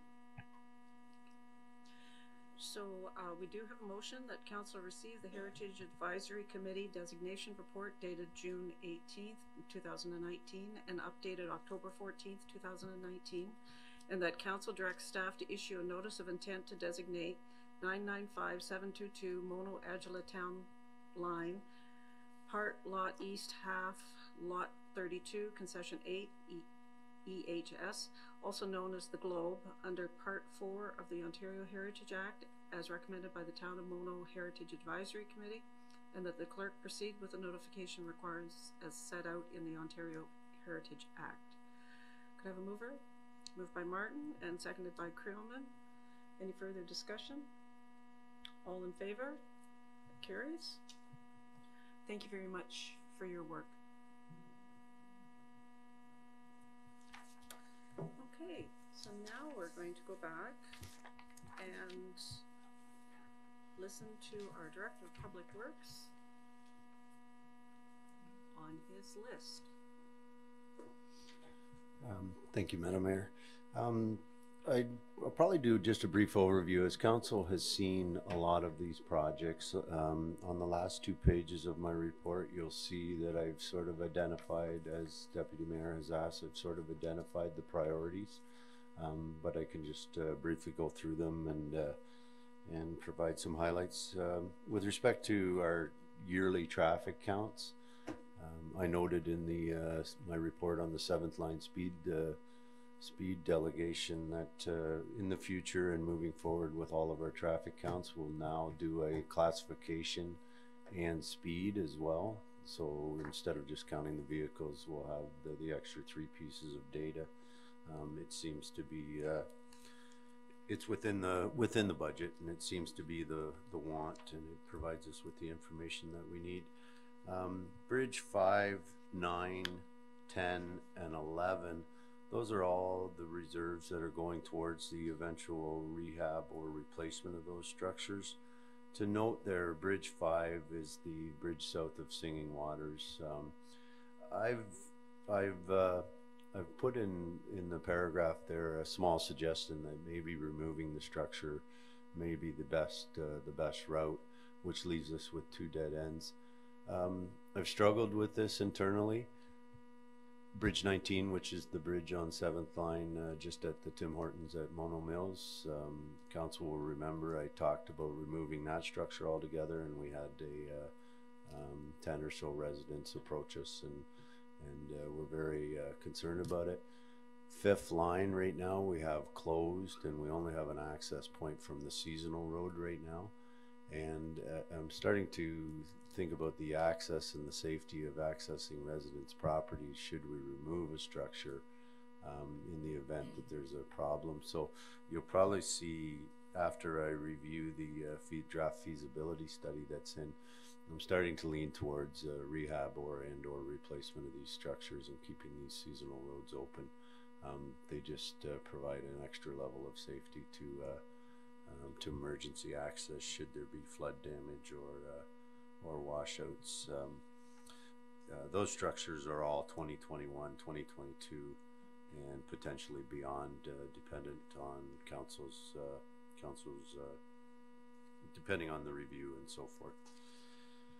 The uh, the trigger, uh, the big the big bridge, and and that's being recommended to be done in 2020 is uh, item number seven, Bridge thirty-nine. It was formerly presented to co- uh, council as a lot twenty-seven culvert. If council will recall, we had two culvert failures on the Mono Town, Mono Adjala Town line. Um, both structures, uh, uh, were missed on our asset management plan, um, and they have now been, uh, collected in, and Bridge thirty-nine is in need of repair to be done in, uh, in twenty twenty. Um, it was twenty eighteen when we first started, acknowledged to council, and, uh, that's the structure that I'd like to see council proceed with in, uh, in twenty twenty. Blind line, it's, uh, it's always been in there, we're, uh, council approved last year to prepare the drawings for some of the, uh, um, not the rehab, but the, uh, but the, to individualize the drainage issues that we're having on the blind line.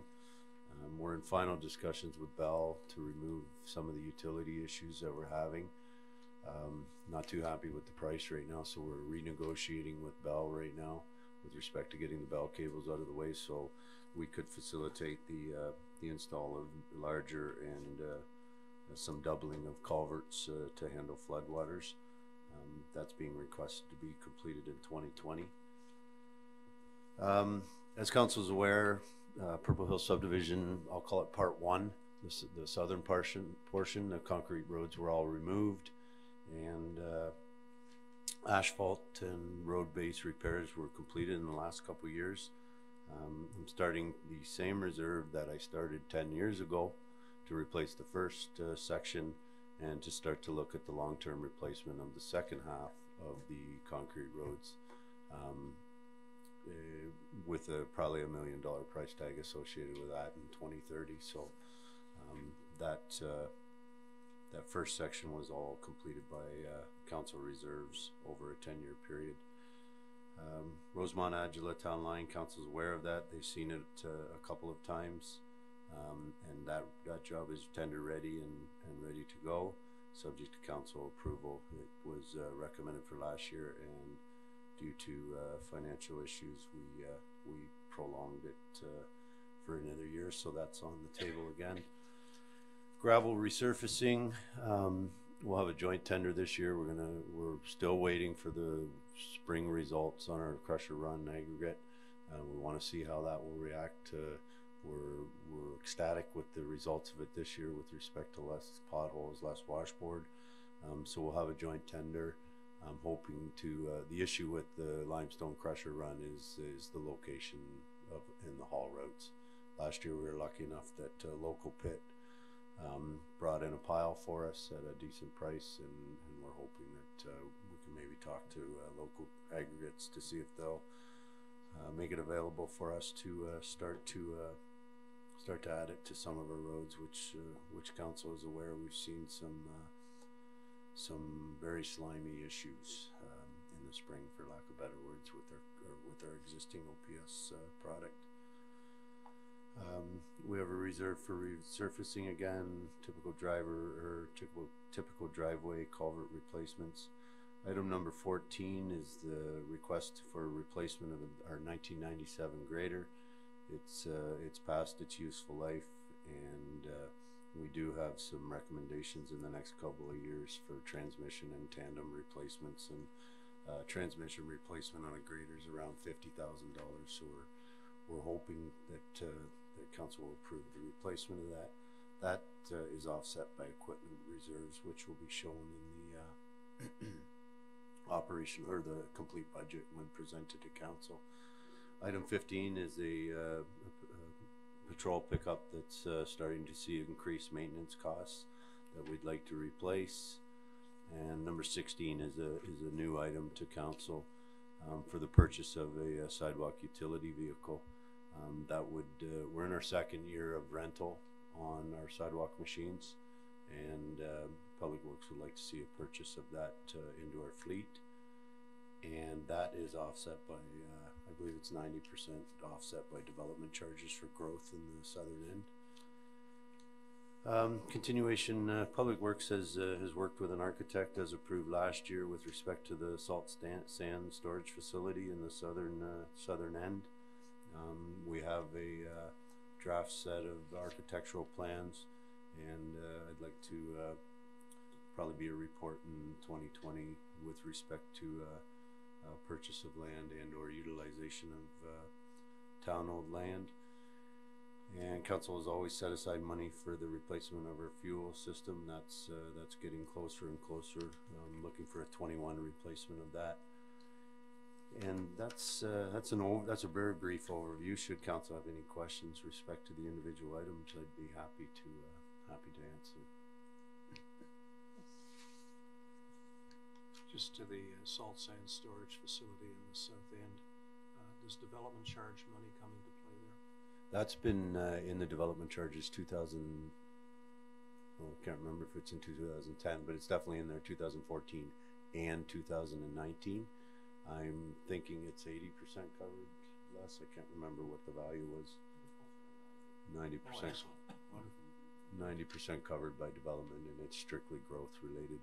Council has increased our fleet size over the last couple of years with respect to the growth related, uh, uh, purchases and, uh, this is all part of the, uh, level of service commitment for our southern end. Sharon, do you have any questions? The aged fuel pumps. I'd like to see something happen there.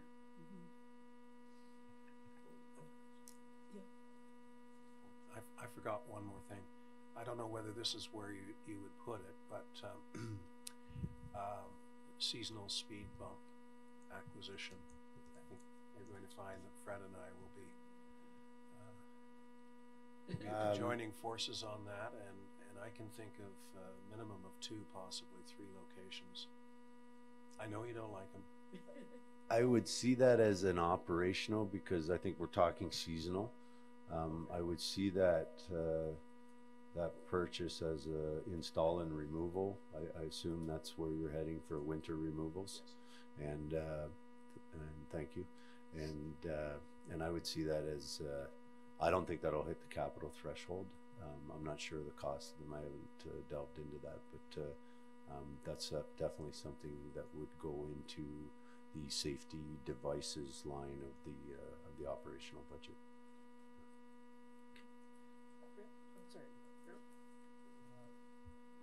Mike, the uh, sidewalk utility vehicle, um, what does, what does that look like? And, uh, would that be funded from, uh, uh, development reserves? So yes, it is, it is funded from growth, um, except the portion that we would, there's a, there's a further value to the town with respect to the purchase of that, which would be a sweep, a sweeper. Um, council will recall a couple years ago, I talked about getting a sweeper for our loader. It just didn't receive good input from our, uh, from our road staff and the, uh, and the longevity of that sweeper is costly and, and high maintenance. So, um, so yes, it is covered by, uh, covered by, uh, development charge. Um, I don't know how to explain it. Um, it's not a tractor. It's, yeah, um, so this is a cabbed unit, obviously with heat, um, and air conditioning, but, uh, but it does have the ability to spread sand and it has a blower, a V plow and a multi-directional plow as well. And it uh, has the ability to load snow into our tandem trucks for removal from subdivisions. And, uh, I could, uh, I could def, I didn't want to provide a picture because I'd almost be sh- I guess I could provide multiple pictures of three different manufacturers. Um, I didn't want to provide a picture, but I could definitely, uh, I could definitely provide multiple pictures of multiple potential, um, respondents to a tender should there be one. Presently, for sidewalks, are you using a, a plow or a blower, or what are you using? Um, uh, both, both. When, when blowers are required, we are using those. We are using blowers to clear out in front, we are using the blower attachment to clear out in front of our fire hydrants. Um, irregardless of where residents pile snow or we pile snow, we will block our fire hydrants. So that is, uh, that is utilized, uh, uh, currently by our staff. And, uh, and we use, depending on the snow load, uh, we'll use blowers and or, uh, and or directional plows. So this is a relatively narrow, vehicle that can drive on the sidewalk. Correct, so it's under forty-eight inches, that'll help, uh, that'll help, definitely help, so it's under forty-eight inches, it's a- sort of a cab forward. Design, the cabs, it's, the- they're rear engine, rear engine, uh, machines, they articulate in the center like, similar to a loader. And, uh, and we also, in the last two years, have rented the sweeper option at the end of the season for, uh, we do our bridges, we clean out the sidewalks and, uh, and then we, to replace another rental machine that we do during the fall, we normally rent a, a skid steer and a, uh, and a, uh, a sweeper as well to do our bridges two or three times a year. This would, uh, right now, the staff are hand sweeping the S-bends on our roads on Fridays to try and ensure motorcycle safety. Um, cars tend to hug to the inside corner, so so we're sweeping intersections, we're sweeping uh, sweeping bridges and sweeping. Uh, um, and this this machine would be able to traverse town wide as well.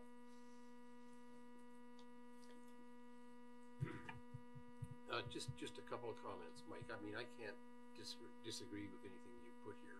I, I know when I look at the four hundred thousand dollars for Bridge Nine, I, I guess the question that comes to my mind, I remember when, when we had to do that bridge on the seventh line, and I think there's two residents, so we did a, what, a million dollar bridge for two residents, but in that case, that, that route, if, if Highway nine Airport Road is ever collisioned or, or blocked, it's the only way people can go north-south, and I think that was part of the argument for not making two dead ends, but we, we had to go ahead with the bridge. In, in, in the case of the blind line, or, or sorry, the one on, um, here Ontario Street, have you at all talked, there's, there's that, that, um, institution just, just north of it, uh, Singing Waters. Singing Waters, and I, I, I assume most of their customers would come from Hockley Road up that way. I mean, if, if we were to make two dead ends, it would be a real inconvenience. But my, actually, my question to you is, have you talked to any of the landowners there in, in terms of keeping that bridge?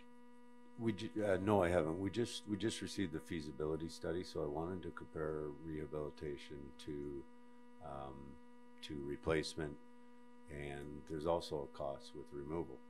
Um, Well, true. that's that's uh, that's why I'm asking for the reserve to continue. Is uh, we just can't leave it as is.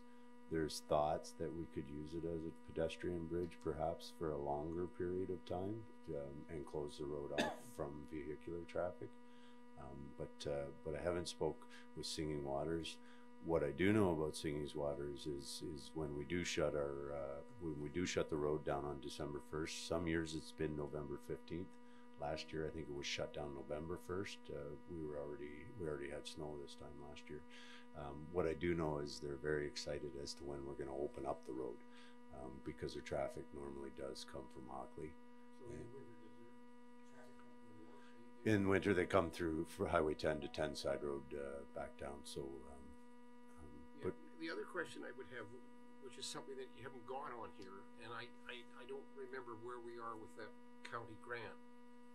But we don't have any charging stations for electric or plug-in hybrid vehicles in, in your capital budget. so if you Are you waiting for, are we waiting for word from the county on that, on that possible grant? And it, but, it- but, but, but my question is, if that grant doesn't come through, shouldn't we still be making plans? Even if it's just put, starting to put money in a reserve for someday eventually putting in at three of our buildings, uh, charging stations? um, the charging station at the hall here would fall under the admin section, and or sorry, and then the uh, two buildings would be would be recreational. Um, Um, however, um, council did review the county plan, and uh, we are in the early stages of finalizing that agreement. And I believe that they're looking for electrical capacity right now. Um, would have to be the requirement. Uh, we'll have electric electrical capacity at the town here, um, but council, I believe, approved two stations here. Two stations here. Council approved uh, to go into um, partnership with the county. Well, they haven't heard back from the federal government on the grant yet. So that That was in the twenty nineteen budget as a, uh, uh, presented by CAO, Mark Early. Um, and that number is available that, that Mark had put in last year, should council wanna see it again, subject to the county installing their systems, I would think. Will we know by December? I don't know when the federal government intends on uh, making a determination on those grants. I have no idea. Well, I, I, I, you know, I mean, of course, I may have a uh, pecuniary interest here, I'm not sure, do I? Uh, It's in common with everybody in the planet. Yeah. But I, I mean, I, I do think uh, the, we should be making some plans for someday before I die to put in charging stations. Okay? And if we're not gonna get the grant, uh, would it be possible, Fred, to take Mark's numbers from last year, which we, we eliminated, and put them in the, or maybe less, and put them back in the tentative budget? Okay, okay. Okay. All right, so it looks like you did well. Okay, so if there's nothing further, we have a motion that council receives the two thousand and twenty departmental capital budgets. Can I have a mover, please? Moved by Martin, seconded by Manktelow. Any further discussion? All in favor? Carries. And now on to the cost of living allowance for the 2000 2020 rate of inflation. And um, so we have our memo from Mr. Halucha suggesting two percent. And I agree. you've, you, okay, so you're fine with that? Alright, wow. Okay, so if there's nothing further, we have a motion that council uses an inflation rate of two percent for two thousand and twenty budget purposes. Uh, could, it could, could I have someone move it? Moved by Nix and seconded by Manktelow. Yes. So this is simply to um, prepare a budget based on the assumption of two percent. It's not actual approval of the two percent. Right, it's the two percent I'll be using for, for budget purposes, and also, it's also, um, for increases in staff salaries and council remuneration. And it's, it's a methodology that we've been using now, this is about the third term of council. And, uh, we picked the same period, uh, we, we look at the CPI from a year ago, October twenty eighteen, to the last posted this year, and we take the average of it. And it's been working pretty well, uh, because inflation does fluctuate month to month to month, and this is basically an average of twelve months. And if I could explain a bit, bit further, um, when I was first elected to council, uh, staff wages had been frozen. And we did a, um, a, I can't remember the exact percentage, just to, to make up for having their wages frozen for four years. Then the question became, well, what do we do in the, in future years? And we seem to agree on this methodology. We take the average of twelve months of the Ontario Consumer Price Index, not seasonally adjusted. That's the exact same methodology, for example, that the Canada Pension Plan uses in increasing pension, in fact, teachers' pensions, they all use that methodology. I, I would say it, it's it maybe not perfect, but every X number of years, then we hire an HR consultant who does the, you know, the comparison with other municipalities. And the last time, uh, my, we were very close to what that consultant showed in terms of our salaries compared to uh, our comparators. It works out quite close to um, what the increases they would get if we hired an HR consultant every year who did a, a study of comparators. Am I, am I correct, Les? Yeah. Uh, I, I'm, in my previous career, we were subject to the same methodology, the same um, uh, numbers, quite frankly. Um, my question is, uh, and I've, I've never understood this decision being made uh, in advance of the budget. Um, I understand planning a budget and doing all the, the assumptions based on this, but when it comes to the budget discussion, uh, if we had to revisit a two percent adjustment, are we able to do so, or are we locked into what we are doing today? not long. Okay, Yep. I'm fine. So the, the motion does read that council uses the inflation rate of two percent for twenty twenty budget purposes. So does, yes, yeah, okay, okay. So, um, I'll call for the question, all in favor? Carries? And, uh, Hockley Lands property, uh, the loss of rental income report. And is there any questions?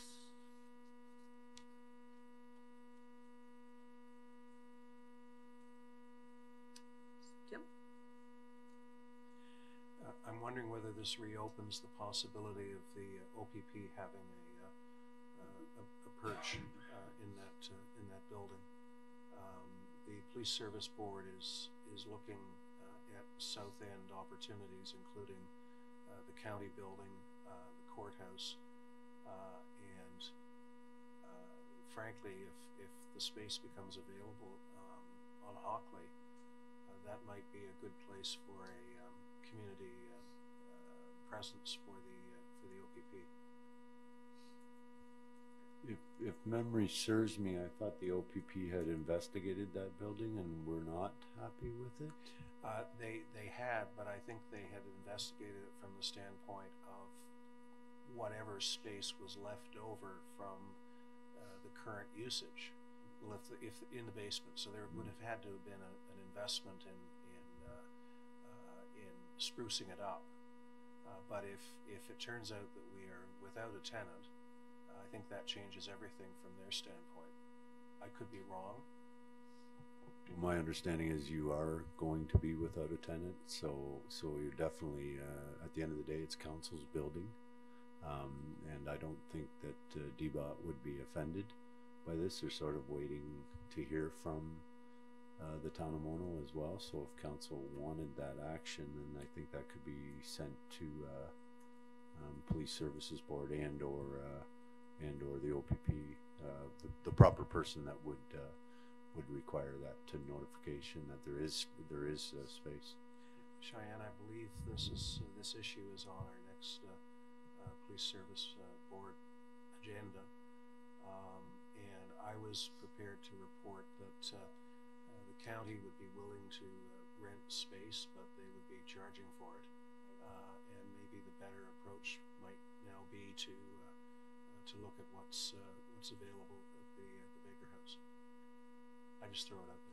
Yep, definitely. So I think the biggest thing that the town would need to know is there any structural and or security issues that would be required structural changes to the layout uh, to facilitate uh, occupancy of the OPP. I'm still not sure I totally understand. The, the Board of Trade people are still gonna be there. And, and to cover the rent, which is gonna raise to twelve thousand a year, they're gonna tr- try to get this business hub. And I, I don't, I don't quite understand what that is. Is it, is that a, an entity? Or, or is it just opening up some rooms for people to come in and for a certain fee? So they, they, they would charge potential business, uh, could be single operators, uh, or ones that don't require full-time occupancy. Uh, so it would be, uh, available to, to have the internet connection, uh, space, and they would be charged rent. And, and how long are we giving them to find out if this model works? I mean, I, okay, if the model doesn't work. All right, for the first year, as I understand it, they're using some grant to offset the, the, the, the rent. Is that, is that a grant we give them? Well, that's normally we set aside the eleven thousand nine hundred and some odd dollars. Um, so that's what Mark's memo is recommending that instead of setting that aside, that we utilize that funds to um, to pay for the rent uh, for the year, and uh, and they have to still be responsible for the entire sixteen thousand dollars plus or minus of uh, their utility costs, um, and then they would. Uh, with councils, they're looking for direction and approval for sense from council that they were open to this.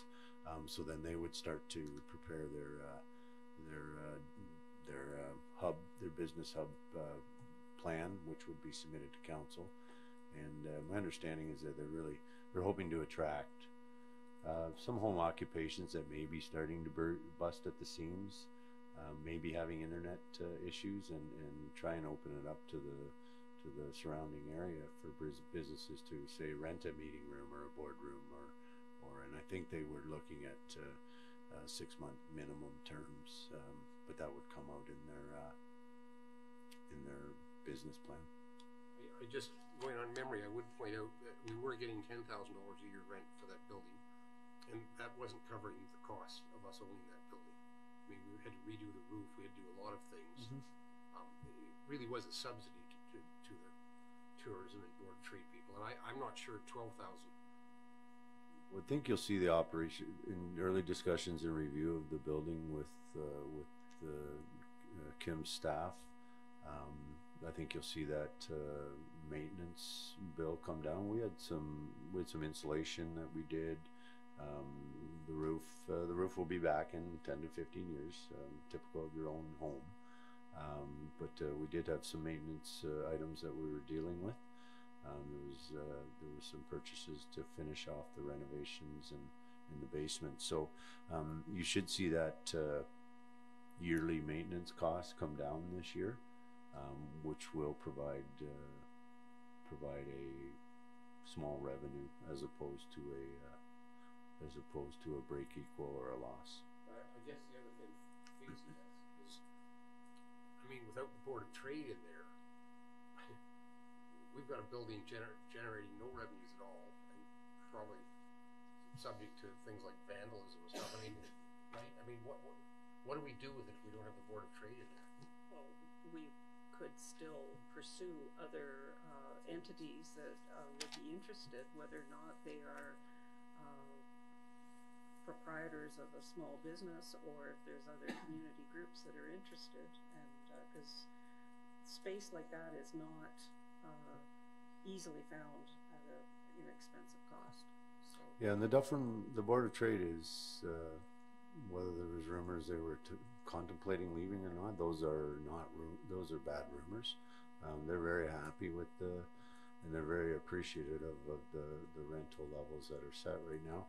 Um, I do point to number eighteen in my capital roads plan that we calls for a salt sand storage uh, facility, so, um, that is town land, but it is wetland, wetland heavy, but, um, they are very, they are very appreciative and, and the gut feeling I got was they want to make this a go and try and open this, and open this up. As for a timeline, I think if council was to approve and receive Mark's report, you're looking at basically, uh, um, they should have this up and running, uh, within the year. You, cause you'll be, you'll be reapproached in twenty twenty-one with, uh, potentially a different story or a good news story. I'm just trying to get a, a grip on the figures here. Um, at the present time, their, uh, the, the rent is ten thousand and the, uh, Board of Trade is paying five thousand, I presume. And they're paying half of the expenses, which is, uh, I guess eight, so that comes to thirteen thousand a year, is that? And the other thirteen would go, would have been covered by Headwaters Tourism. Right. And the per, the, just to go back on the expenses, it, it does, are the expenses, the, the usual expenses that we have of hydro, water, internet, um, heat, heating, taxes? Correct, and probably off, they would have some office supplies in there and, uh, they're, they own their printers and their computers and so their, their general cost to run the building for two, two renters was sixteen thousand. And that, that would likely continue. So the proposal, it would be that we would uh, offset the, uh, the two thou, twelve thousand dollar, uh, rent with the grant, and that they'd be then responsible for sixteen thousand, which is thir- thir- three thousand more than previously. So they're, they're happy with this? They know they have no other Okay. choice I mean, because they're not asking, Accepting of it, I should say, rather than happy. they're not asking the town to pay for the utilities at all. They're asking us to reconsider our, uh, our, uh, rental rates for, till they get, uh, their business plan and model, uh, back on their feet again. Um, Mark, uh, Mark came up with the idea of the existing grant that the town already put towards Headwaters Tourism. Um, I'm not sure whether that portion of that went to Dufferin Board of Trade, but, uh, um, but Mark came up with the idea of, uh, the funding was already in place, set by previous councils and yourselves, um, to utilize that money to offset the rent, to, to hopefully get them back on their feet and, uh, and fill these, uh, extra rooms and so forth. And so when they get back on their feet and they get the business hub running, it would once again be um, um, self-supporting for the uh, uh, total rent and total uh, business expenses. The- They would in theory be the property manager, but at the end of the day, the town would approve the, uh, the tenant. And also, uh, the lease would be signed with the town and not the, uh, Dufferin Board of Trade.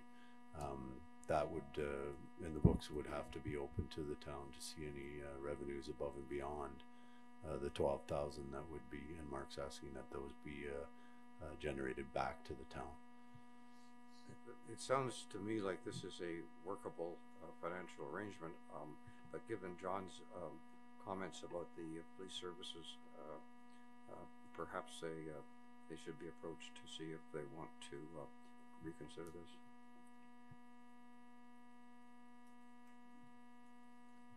I don't know that it's a reconsideration so much as it's a, it's a, it's a, it helps them because uh, police services board could make the decision that we pay a, a nominal uh, rent uh, for another location for the south end. Uh, certainly, the county was looking for some some money. I don't know much, but um, if if if the police become the first uh, uh, tenant of the uh, of the new arrangement, I, think that that helps. Um, the other possibility is that there will be a, a successor to Headwaters Tourism of some kind. Uh, it's not clear yet, but I can't imagine that we won't be uh, doing something to promote tourism. It's just a question of how. Uh, and if we we end up um, finding an alternative, and, and it's anticipated that there will be an alternative to Headwaters Tourism, uh, they may come knocking at our door for uh, for assistance. Well, my under, my understanding is that the county has withheld these grants and is looking at doing this internally through their economic development, uh, departments. So, so whether they, I'm assuming they already have, uh, So they'll they'll they'll carry the expense as opposed to us giving the grant. Correct. Okay. Yeah. Well, I'm all in favor, provided they change the uh, format of the uh, all candidate meetings going forward. Mm, Board of Trade. Yeah, that's right. Uh, The Board of Trade, yeah, okay. Uh, Sharon, did you have anything? Well, I was just curious if uh, Orangeville goes for the OPP, doesn't that change any uh, necessity for something in the south because they'd be taking over the uh, Orangeville uh, office, I would assume, or not? Well, it, it would, uh, but that's some distance away. I mean, even even when they make the decision, there is a transition time, and uh, um, I, you know, I think this is something that could happen sooner rather than but then be revisited in the event that they uh, they go uh, OPP and Orangeville. So, uh, you would like, uh, council to receive the report, or because it was? Yeah, I think, uh, if, if, if we could have some, maybe here, so police services will bring this to her, their agenda, which is, is on the agenda already.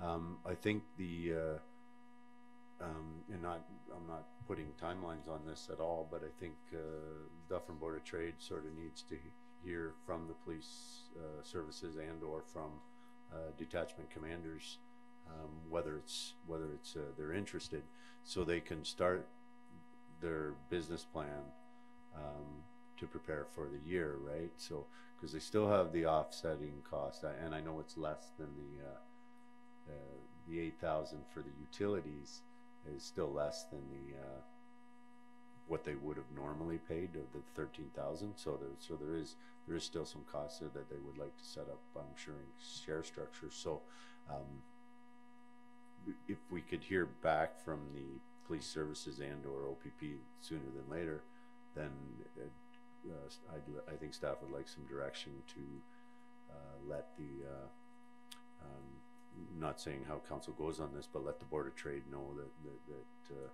um, they've accepted the content of Mark's memo and uh, that they may proceed with a business hub um, and try to occupy their vacant uh, um, their vacant rooms um, moving forward. I, I, I can certainly uh, alert uh, the detachment commander to the possible um, use of that space get her thinking about the issue such that when we have our police service board meeting, uh, we'll have a clear indication of whether it's a go or not. Or would council like to see that come as a memo from the clerk? That the, the space is available and copy police services? Then it stays, we, it, we, tr- it's tracked through the, uh, through this agenda. And, uh, and then, uh, let, uh, detached, uh, Commander Randall, right? Uh, aware of, uh, aware of, uh, the availability and it will be subject to their, uh, your agenda at the next coming, upcoming meeting. And I'll have a quick chat with, uh, with the, with DBOT, uh, with respect to this. Says it, cause it will just, it's going to depend on whether or not the OPP accept the space, because I thought originally there was some concerns as to security, uh, et cetera, et cetera. Well, there is, there is a, uh, westerly door into that building that put, that, uh, there could be a one-wall separation installed. So then you're fine with that direction then? Unless Fred sees any difference in it, I think we're good. Nope, that's all we were looking for was direction, including on the budgeting side. Okay, and so now we're on to item four, the uh, corporate service delivery and efficiency study. Um, with Mr. Monroe's comments at the beginning of the public question period, is there anything further that uh, council members have on this? Yes? because I, I'm always the, the slow one, just internal efficiencies. So we would presumably share this consultant to look at our internal efficiencies. What, can you just, in plain English, tell me what that means? I mean, does it mean how we get a work order written and out to the public works people? Does it mean how, how we do, how less does the, or how the payroll is done, or what, what, what, what, what, do we mean? It Would definitely be a, uh, be a review of the existing way that we're providing our services. They would definitely probably look at our, um, our council gets in, gets flagged for this all the time. I can't think of the word right now. The way that we, the way that we present ourselves to the public and try to keep our public, we would look at it how we, how we resident notification processes. Um, inside of my capital plan, we talked about, uh, I also talked about efficiencies on our operations department, whether we're, we're plowing roads and, and doing things efficiently as well. So, um, so those are, those are items that are, I mean, already in this agenda, we've looked at the issue, when we took over sidewalks, we hired a contractor to do it. Now mm-hmm. you've said it's, it's better that we do that internally and our staff does it. Would this consultant be looking at questions like that? Would, would it, should we continue to do something like that with our own staff versus to go back to a consultant? And that, that could be for a number of, of things. I just, I just wanted to make sure I understand what I, what these internal efficiencies that we're, we're talking about. And maybe I partly do, but in the absence of me reading the county draft RFP, I think I could provide a lot more information if I had read that. I, I just, uh, that's been done through Mark.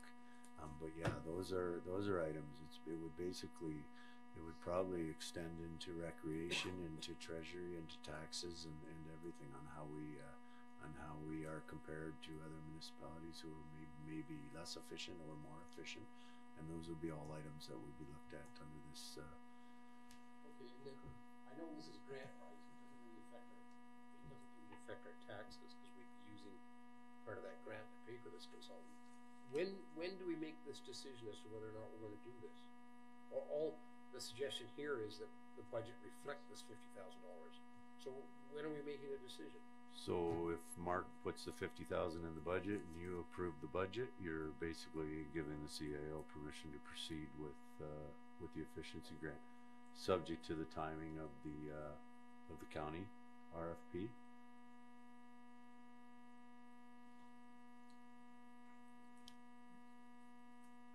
ap- should, should we choose the same consultant, it would be after or in parallel to the county uh, review. That, that means that then the county RFP determines what this consultant's going to do. I, I'm kind of thinking maybe council should have at least some look at this RFP and make some decisions as to i- is this what we want? Is this what we're asking a consultant to do? Or do we, I mean, I guess we don't have to, we can just. But in, in actual fact, aren't we being told we have to do this by the province? well, So we don't really have much say whether we do it or not. We have to do it. And okay, last- teaming with, Last question, Can- if, if we can do this fifty thousand dollars, where do we get to spend the other five hundred and seven thousand? I could help maybe with that. No, I, I would, as- I would assume after our study's done, uh, they'll probably have suggestions. If you purchase this piece of equipment, or you buy this type of computer software, you will now become more efficient in performing this function. So at this point, we don't know what they're gonna recommend, but that grant would be used, you know, to, to implement whatever recommendation would come from them. Can it only be used that way? Well, when we originally got the, the funds, there was no strings attached. Uh, and then as information started coming out, there's, maybe there's not strings attached, but there's tiny little hooks or suggestions of what we should do with it. I think the whole over time it might get, will be, like, like Mike said, we're, we're getting, we're getting pushed into this. And then the grant would be used, whatever it takes to implement the, any recommendation.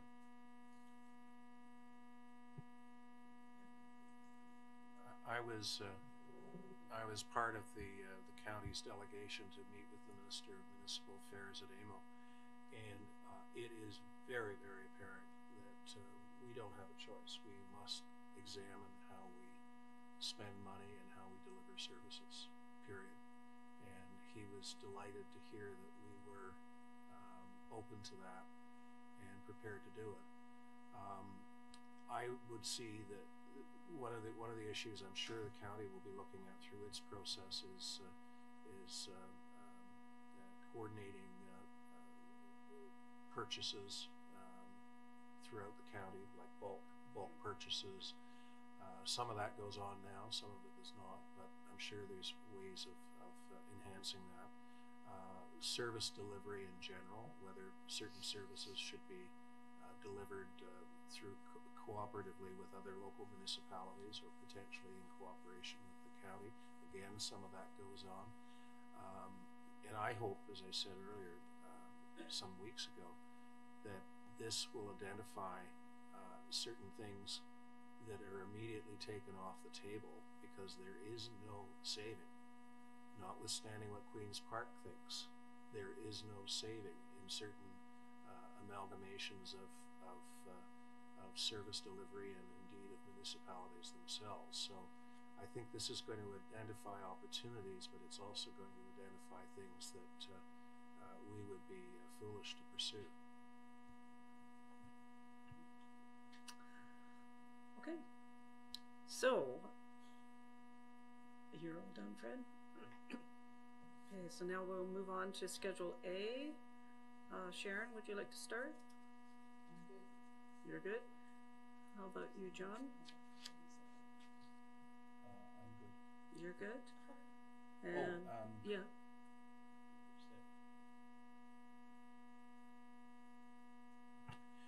The, uh, actually, uh, number nine, which is Barry Randall's report on the delivery of uh, provincial offences uh, program in, in, uh, in Dufferin.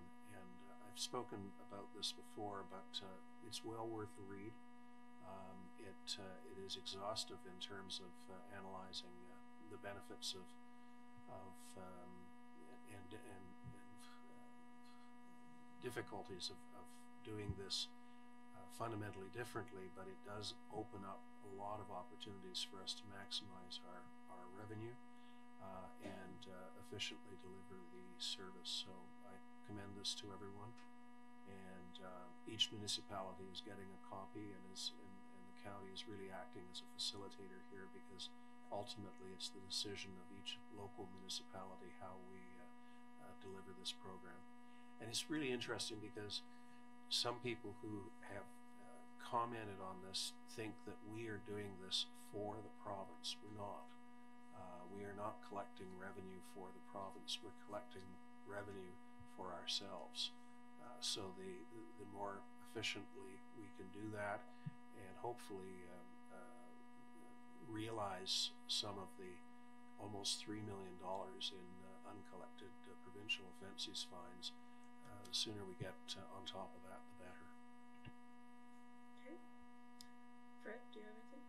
Well, I know I'm always asking for my hand to be held on this, but number seven, the, the Protect Mono people have made a very strong argument that in the revised uh, provincial policy statements, there's there's a, a real there's a danger, there's a red flag there, because once a license has been granted to an aggregate producer, they can apparently just amend that license and allow them to go below the water table.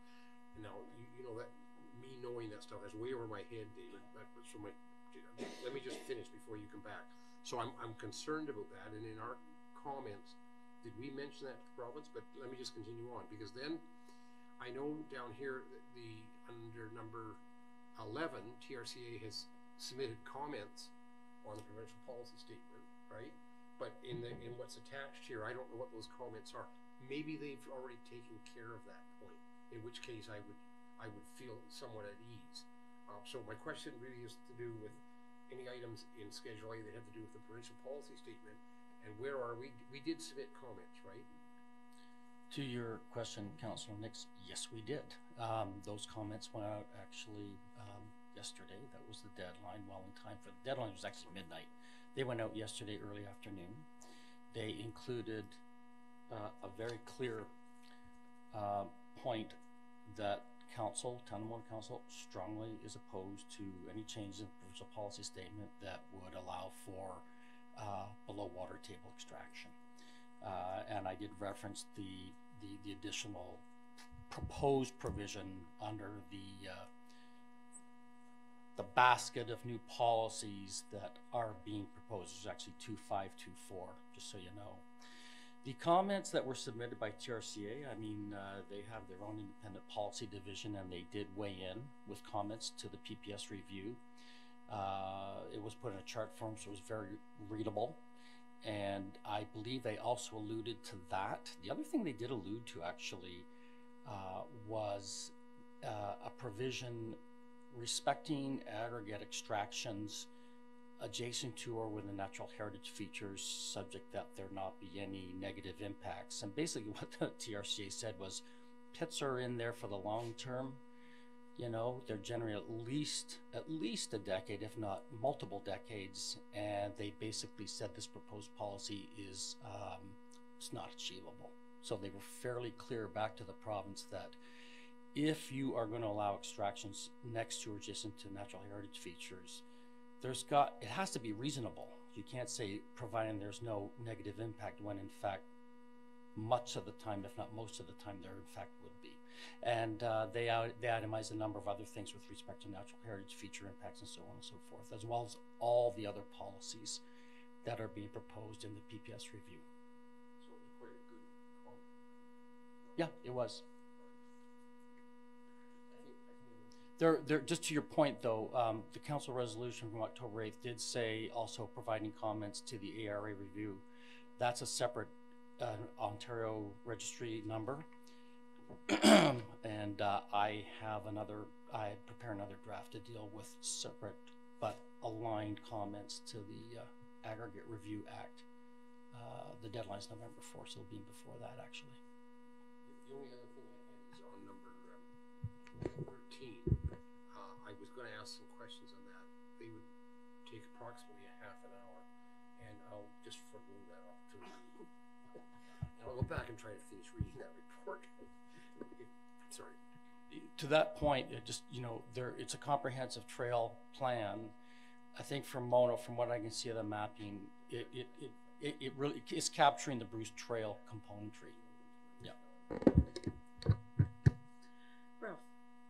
I'll just carry on from Fred's introduction there on the trail. it's a big document, and I just scanned it, but a number of things really stood out. And w- one was that they um, presently, they say they have 520 um, kilometers of trails, and they're going to expand it to a thousand. It's a pretty ambitious thing. It extends from um, um the Rouge River on the east uh, to the uh, Oak Ridges Moraine and, and, and up here to the to, the, to Mono. Um, it's, it's interesting. It's hard to digest it, having worked on our own trail committee um, and understand, understanding some of the issues and problems. Uh, one is where do you put the trail? And so they are using established trails. They're using major um, uh, power and utility corridors, and they're using uh, major roads. So it's not quite clear on that because they show a, a trail going along air, beside Airport Road, and and furthermore they show one going along Highway 407. This is a, not a not a relaxed place to walk. Anyway, I'm I'm being a bit facetious, but what really stood out to me was the numbers that they had for for biking, and they say that you know all of your Toronto that there are 182,000 182,000 people that bike uh, in Toronto daily and that um, uh, there are 163,000 that actually commute to work um, either by walking or by, by, biking. So, and Toronto's recognizing this. I think they're doing quite a bit with respect to their their uh, trail system. Second thing I'd like to comment is on the um, uh, Board of Health report. Uh, they're getting quite fussed about vaping, and um, the issues are two. Uh, one is that there are uh, significant respiratory illnesses which are hospitalizing people. I think the latest number was about 800 in the United States, and 12 are uh, apparently died related to these. And when you read a little bit of the stories of some of these people, they've been vaping for two or three years, and they just gradually starting to give it more short of breath, a bit more of a cough, and, and suddenly something happens. And nobody quite knows what it is. They I asked at the last board meeting if they knew what the uh, agent was which is giving the problem. Like it was suggested that it was maybe emulsified fat, which uh, some of these uh, substances like THC is in oil. Uh, and then nobody seems to quite know. And anyway, that's that's a concern. The second problem is that most of these, maybe all of these substances contain nicotine, and the dosage of nicotine is sometimes far, far higher than it is in cigarettes. So the issue becomes one of addiction. So vaping was put out as a possible way for people to um, break the, the cigarette habit. So if you have a cigarette habit, you're going to probably uh, you increase your chance of lung cancer and COPD.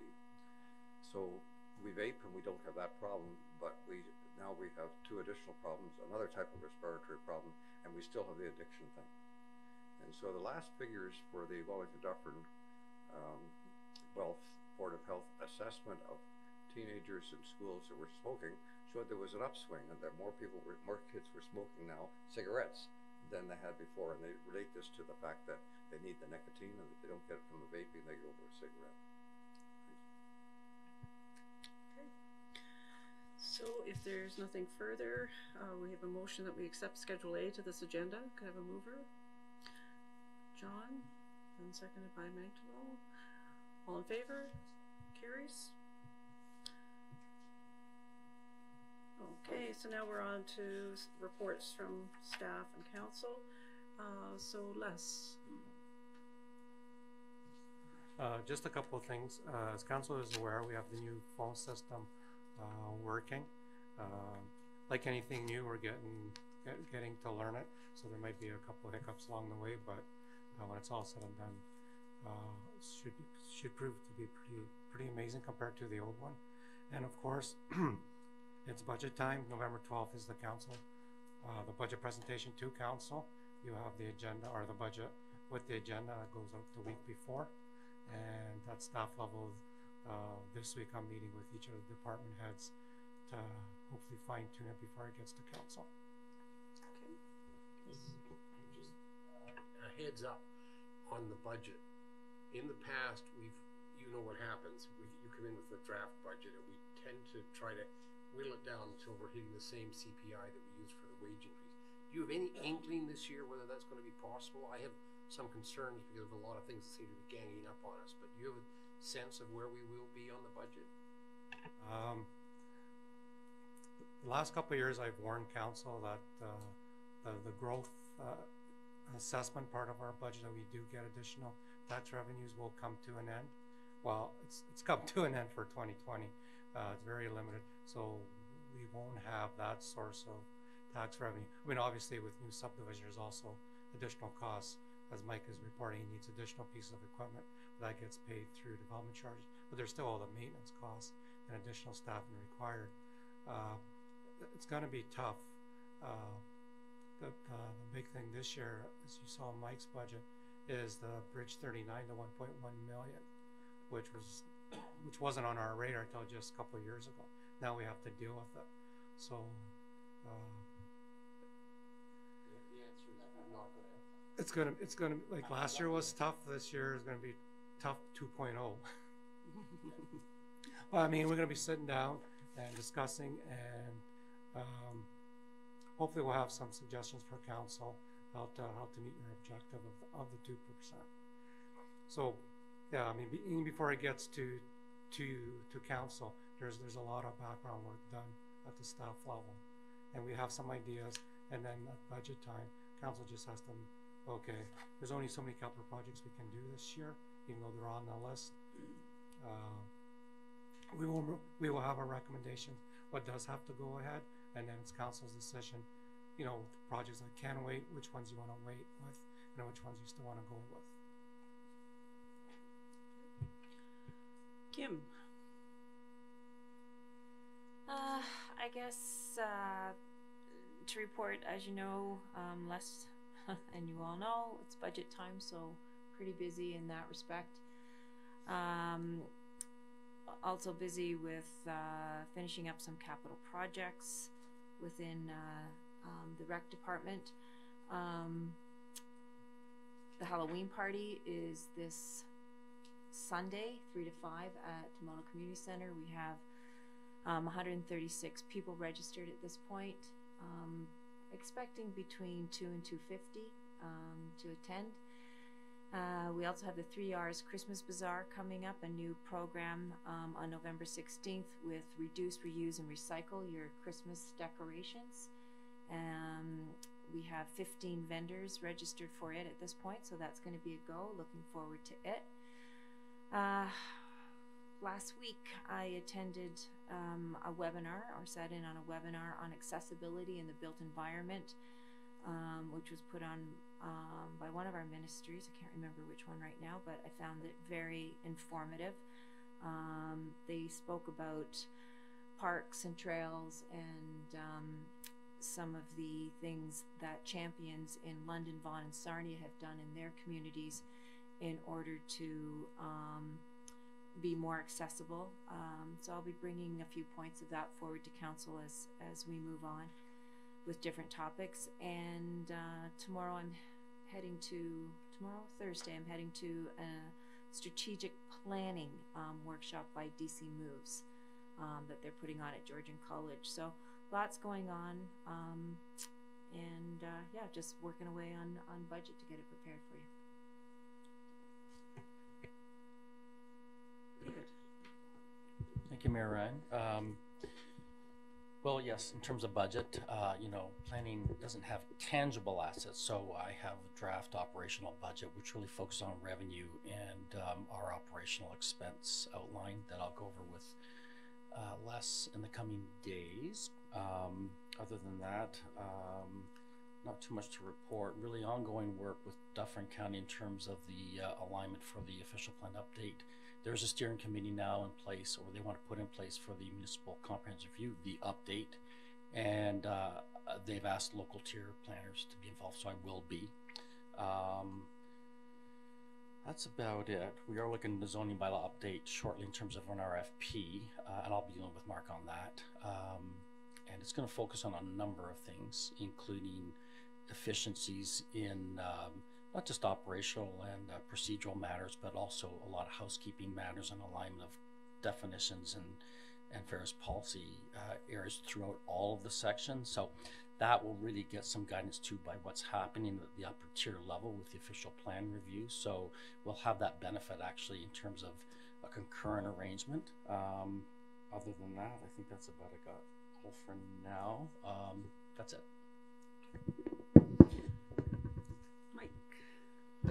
Um, just, we received no formal reports with respect to all the leaf viewing that was going on, but our parking lots were definitely bursting at the seams, so it was good to see that people enjoyed uh, enjoyed Mono.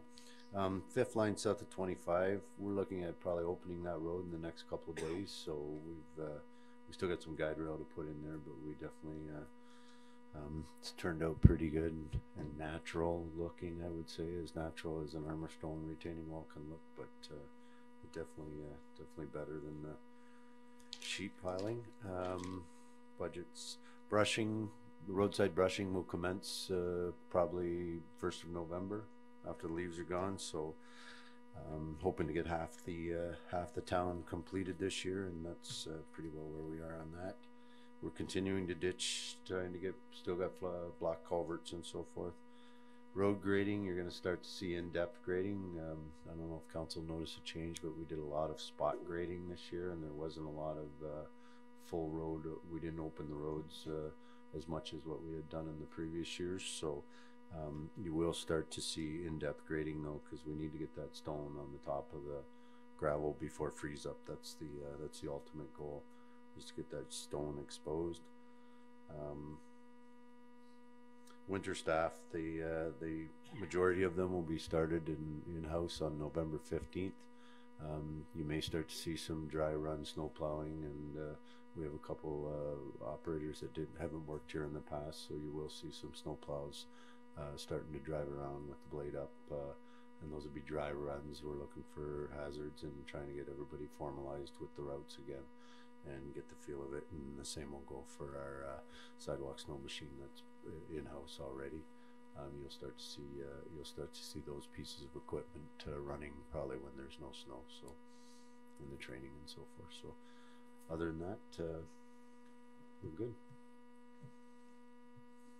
Just a couple of points. First, first of all, thank you, Mike, and the town for taking care of that several dead ash trees, but one of which was off the road allowance uh, right beside the main Bruce Trail that we couldn't handle. I appreciate that. I, I assume it was Williams Tree Service that went back and did that ash tree. Also, thanks for the load of gravel that you put on the parking lot of the Bruce Trail property on the fifth line. They were very appreciative of that, e- even though that gravel was on your road allowance. Had to be Well, I hope we only did the apron. I haven't gone to look, but thank Uh, you for that. I think we I think we would have done the apron. That's a typical level of service that we pr- would provide to residents. I, I Uh, just know they were happy. there's a long discussion between those But now I- applications, but yes. I have a question for you. Um, if I'm not mistaken, the town line, Amaranth Mono Town Line at the north end, is part of their uh, truck route bylaw system. There's no trucks allowed going southbound. That's on the Amaranth side of the road. There's signs up that say no. Amaranth has some truck signs, no truck signs, So what- posted on many of their roads. Well, my question is, so trucks aren't allowed to go southbound on the town line, but we have no signs on our side of the road saying they're, whether or not they're allowed going northbound. I believe they have some tonnage issues on the two structures north of 20. Yeah, north of 20 now. The town of Mono has replaced uh, two of our structures along our section, so there's no no load issues. But it's not, it's not part of our truck route bylaw.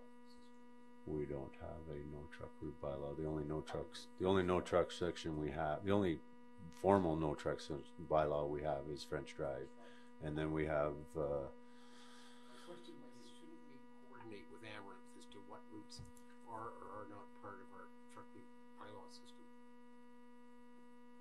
Um, I could definitely inquire as to what the extent of their signage is. I, I do know they don't have a posted fine on them, um, as well, or a bylaw number, so. It's a small point, I just thought Mhm. it was curious. that the southbound side of the road, no trucks are allowed northbound. mhm. Fred? Uh, so with respect to the designation of the Globe, we have to put uh, an advertisement in the newspaper, which has to be out for a minimum of 30 days. So the soonest I can get that in is not this Thursday, but next Thursday. So 30 days from that means it won't be able to come back if there are no objections. A bylaw designating the Globe cannot come back before the December 10th council meeting. And if there is an objection, then that would all be delayed much, much longer. Uh, I gave everyone a copy of a proposed 2020 council meeting schedule that is proposed, and there are some notes. The reason I'm going through that is to note specifically the uh, LPAT hearing in Greenwood, which runs for uh, six weeks starting August 24th, and that'll have some impact on uh, on council meetings because those are scheduled to occur here, the hearing. Um, we've we've spoken, you know, between myself, planning, and and our and legal about how we're going to accommodate council meetings, but we haven't sorted any details out on that. So that's just a heads up on that. Uh, we have received so far three applications for the electoral reform task force and I'd like some idea of how long we want to keep that open for applications until I bring those back to council. Now, you know, keep in mind, obviously, we've got a, a three weeks until the next council meeting, and I only need four or five days to prepare for that. So if, if it ran until the first of November, so that's so Yeah, it can easily run to the first November uh, before we have to close it off. Um, and if we want to, or if we want to establish some other criteria, such as a number of applications, or do we want to set a date to close it off, regardless of how many we receive? Fred, are, oh, sorry. go ahead. Are, are you talking about keeping, keeping the, um, the website, uh, uh, process open, or are you looking at placing another ad in the uh, newspaper? Uh, well, I, I'll take direction on that uh, at this point because we've placed the ads and uh, we'll run them for two weeks. Um, we'll keep promoting it through our other channels unless council directs to put another uh, newspaper ad in. I, I, just speaking personally, I think one ad in the, in the newspaper is enough and we alive on the, on the website. That's my personal view. So that's the direction from council, and then we'll keep it open till close it sometime uh, to be able to process it for the next council meeting. Okay, that's easy enough. Of course, tomorrow is a uh, emergency management exercise countywide. Uh, the mayor, deputy mayor, and a number of people from staff. Uh, the director of public works will be sitting in for the CAO as uh, the alternate uh, senior municipal official as well as myself and uh, Matt Donor. Um, we'll all be uh, participating in that. Uh, if you'd like, I have hard copies of the documents that were sent out. If you want to pick them up now, if not, I'll just bring them tomorrow. Um, we've uh, we meaning Mark specifically has uh, been in touch with uh, uh, Nicole Randall about uh, uh, memorandum of understanding over the police servicing and the bylaws. So that's in the process. It's in her hands right now to see if she has any samples um, that she might be able to provide as a starting point on drafting that. Haven't heard back from her yet. And uh, also the same when it comes to uh, the OPP contract. Uh, we have informed Linda Davis of the OPP that the town is uh, looking to uh, secure a four-year contract. Um, we're working on the plastics bylaw. I don't think it'll come back uh, at the next meeting because I'm sure Mark's going to want to sit down with that before it comes to council. But a draft will be ready for him when he gets back.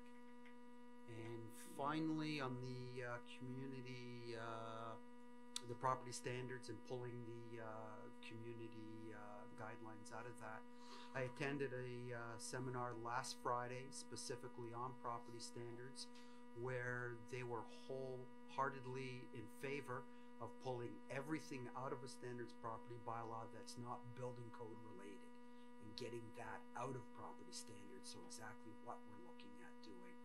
Um, they couldn't provide any suggestions though on how to address the differing standards between rural and uh, and urban and whether we bifurcate that based on lot size, zoning, or scheduling specific geographic areas. There's no recommendations that were able to come out on that, unfortunately.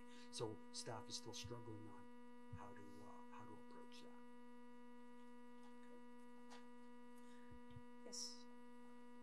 Uh, just a couple of things. I- know we're putting you to work on the plastics bylaw, and I apologize for, Ralph apologizes for that.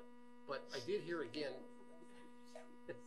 that the liberals again were, are talking about a, a nationwide plastic ban for two thousand and twenty-one. But how, how do you know how serious they are? Was that, was that just election talk? But I heard it again, and was listening to some liberals speaking. The second thing, a question for you, Fred, but also the rest of council. Four or five months ago, there was a request from the county, it might have been this new economic development officer, that, or maybe, maybe not. They were gonna do some study of the food industry in the county, and they wanted either staff or counselors from each municipality to help them out with some questions. So I kind of reluctantly put up my hand. You, you remember that, Fred? And, and I, I got one email back from this county staff member or consultant, sort of saying that he or she would be away for two weeks and then get back to me. That's it. I've never heard anything more on that study of the food industry in Beckman County. I'll follow up on that. Uh, I haven't heard anything either, uh, Fred, on it. I thought you had been contacted and you're getting ready to do those interviews, but I'll follow up with the county.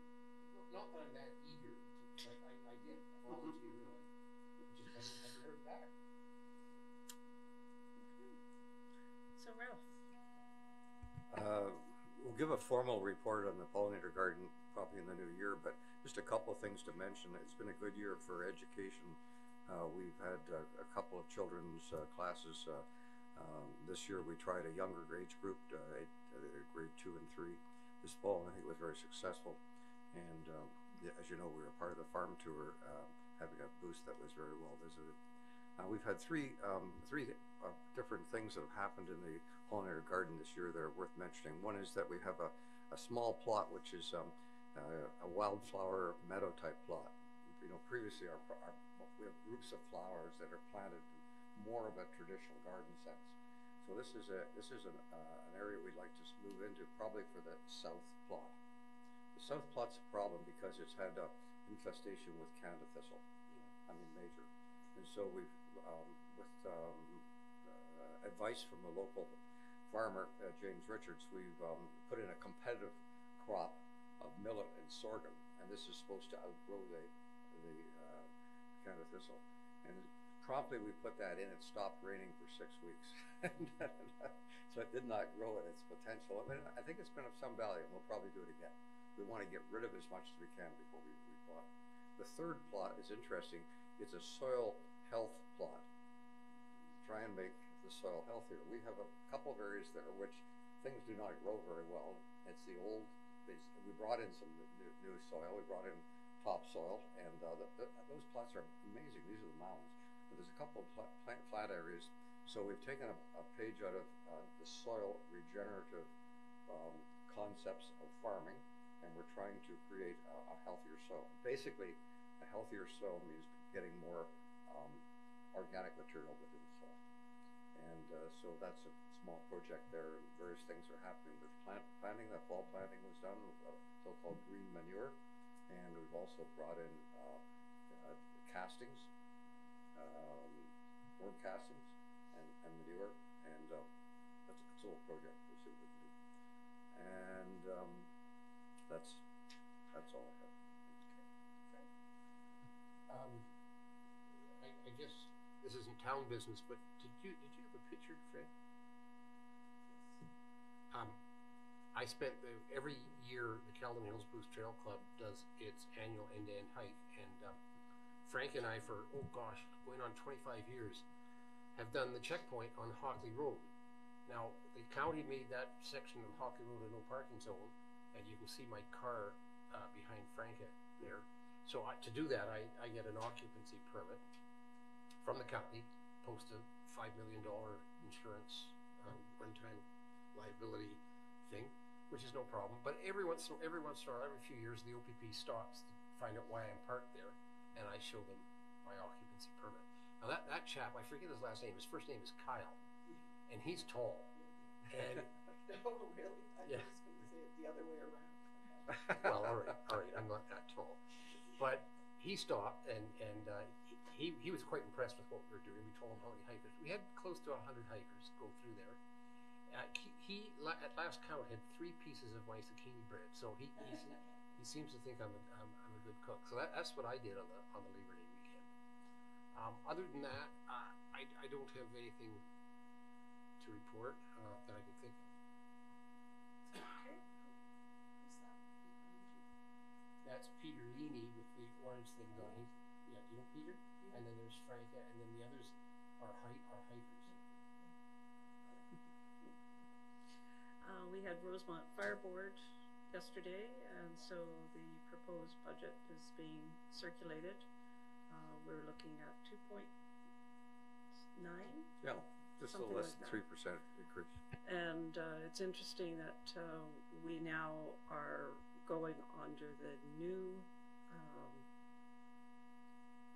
division of, of uh, levy system, and the capital is levied at the same percentage. So, what the argument in terms of the agreement between the municipalities that you're having in Shelburne, we have resolved it. So there is there is hope.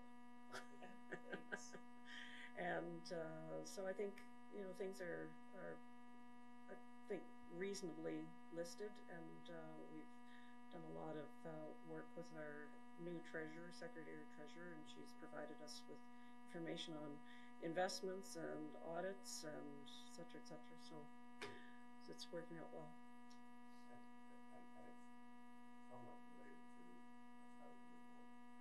Yeah, yeah, for sure. New people at the table, and uh, so. Um, and other than that, uh, can't think of anything else. Uh, there's not as much going on now that uh, tourism is no longer on the plate. anyway, John, did you have any? It's uh, two things. Um, I hope to have a second draft of the uh, Community Safety Task Force report out to my colleagues. Uh, and I'm shooting for uh, bringing it to council on the 12th of November. Uh, I think that should be sufficient time for uh, everyone to have at it in terms of draft number two. Uh, there will be some changes. I've received comments back from Fred uh, and, and a few other members of the task force, and we're checking some numbers now. Um, but uh, I think we will be able to at least present it on, on the 12th, maybe not discuss it in any great detail, but it will be in your hands. Can, can I make a comment on that? Having edited uh, John's first draft, and okay, if you're going to come back to the next draft on November the 12th, that's the same same day. Les will be presenting the draft budget. So I, without, I realize that anytime during our OPP contract, we can ask for uh, uh, extra service, but unless the numbers in the budget there to pay for that, for the, what do you call, it, enhanced level of service, I, I think we should make plans, knowing what your recommendations are in your first draft, that there, there should be a number less for next year, and I'm not sure, uh, because if I, if I te- tell Les now what I think the number is, I'm giving away the, your recommendation. But, but I do think that number should be in your draft budget. Otherwise, our, our hands are strapped in two thousand and twenty, okay? We, we don't want that. Maybe I could, I could uh, communicate with Les and, and give you um, uh, scenario A, scenario B. Um, and uh, we'll confirm that with, uh, with uh, with uh, Nikki uh, Randall as well, in terms of, of the most accurate information. Uh, so that, that's what I'm, uh, that's what my target is. And the second thing is, uh, this is the uh, anniversary of the uh, municipal election today. If memory serves me right. October 22nd? I can't remember, I can't remember that far. I believe it was October 22nd. So congratulations to everyone, and I've had a, an absolute blast. Uh, First of all, this is uh, Library Week, and uh, we had the kickoff for Library Week at the Shelburne Library, and uh, Sylvia Jones was there and made some very nice comments about um, libraries in general and and uh, Shelburne in particular, of course. And uh, it, it it was really it. To be perfectly honest, it wasn't that well attended, but I did invite you all, and uh, but it was a very. Uh, they had Caledon had a table there and showed us some interesting things, uh, and so was Grand Valley, uh, Shelburne, and Orangeville had a, a table as well with uh, showing different things that they're doing in their libraries, which are quite remarkable. This isn't your old fashioned library by any means. They are great places to, to be, and it covers a toddler to whatever age. Uh, there are all kinds of programs there. So uh, maybe you could have a look into that. Also, one of my favorite things about the pollinator garden is that we are working on the soil. It's been in my head for quite a while, and and uh, better soil. And we can probably end up with a report on this to give other people hope when they have land that is not working out well for them and things aren't coming up the way they want them to. Um, also on Saturday, um, the uh, MC Squared is doing their is having their the plastic. It's um, at event, and the t- both speakers are quite renowned and well known, and it's at the it's at the New Hope Church. Out isn't that what it's called? Yeah, on uh, yeah, out on uh, Riddell Road. Yeah. So if anybody's interested in that, that's 9 a.m. and it will be well attended, and it will be highly interesting, particularly since that's one of the areas we are talking about here in Mono.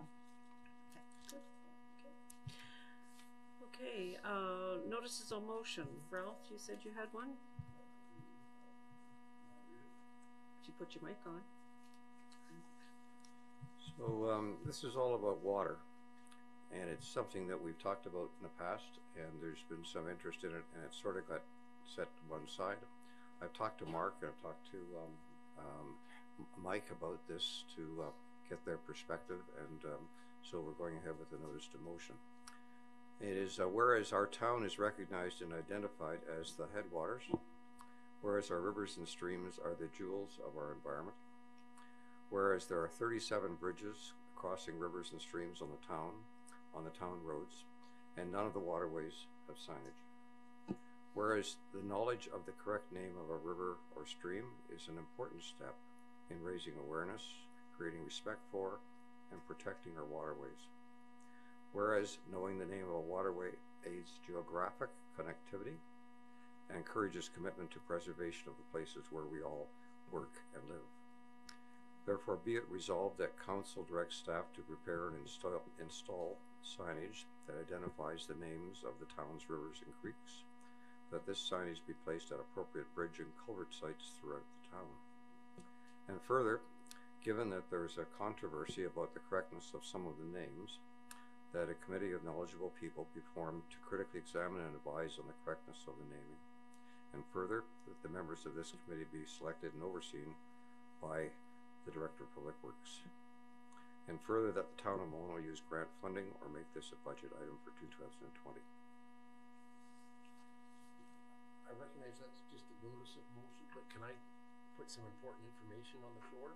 I'd be very pleased to modify this as a, Okay. with, with input. Twenty-five or thirty years ago, there was a committee struck. Um, None of you people were here, so you don't remember this, but Mark would. um, To sit and do exactly, name the, the streams and creeks. I believe, I hope I'm right, I still have a map that came out of that uh, exercise. I think Bob Shirley was on it. That It was twenty-five or probably, probably in your time, John. It doesn't ring a bell, It I doesn't. wouldn't be surprised. I, I know it because of the anomaly of Masters Creek and, or Masters Creek subdivision and the creek. Now, I'm going on memory. Either the creek was called McMaster and the subdivision was called Master or vice versa. And, and, and I think someone got it messed up at that time in terms of what the correct name of that creek is. But anyway, I'll look for that map. That'd be great, because we, um, thought, Mark and Mike thought that there was a file in the, uh, shall we say, in the dungeon, and, and cou- couldn't find it with the map, that mapping on, so that, that would be great. Um, we, uh, w- I think, I think we can start uh, without that if we, uh, need, uh, need to, but, um, and I've, I've also costed it with Mike and it's peanuts. So we, that, I guess we, we can't do anything with the, uh, the development of the, the draft budget for discussion for the next meeting, the twelfth. However, when your motion comes back at that time, if it passes, then you could, uh, offer the opportunity to have it included in the budget, right? Okay. And, and I, I was wondering if the, um, the grant that uh, we were going to make use of for the trails was also applicable in this situation. Okay, that's fine. Okay. Okay then, so if there's nothing further, uh, we will close off. That we introduce and give the necessary readings to a bylaw to confirm the proceedings of the Council of the Town of Mono in session twenty two thousand nineteen held on the twenty-second of October two thousand nineteen, that it be signed by the mayor and the clerk and sealed in the gross bylaw book. Moved by Martin and seconded by Creelman, all in favor, carries. And we adjourn at twelve ten PM.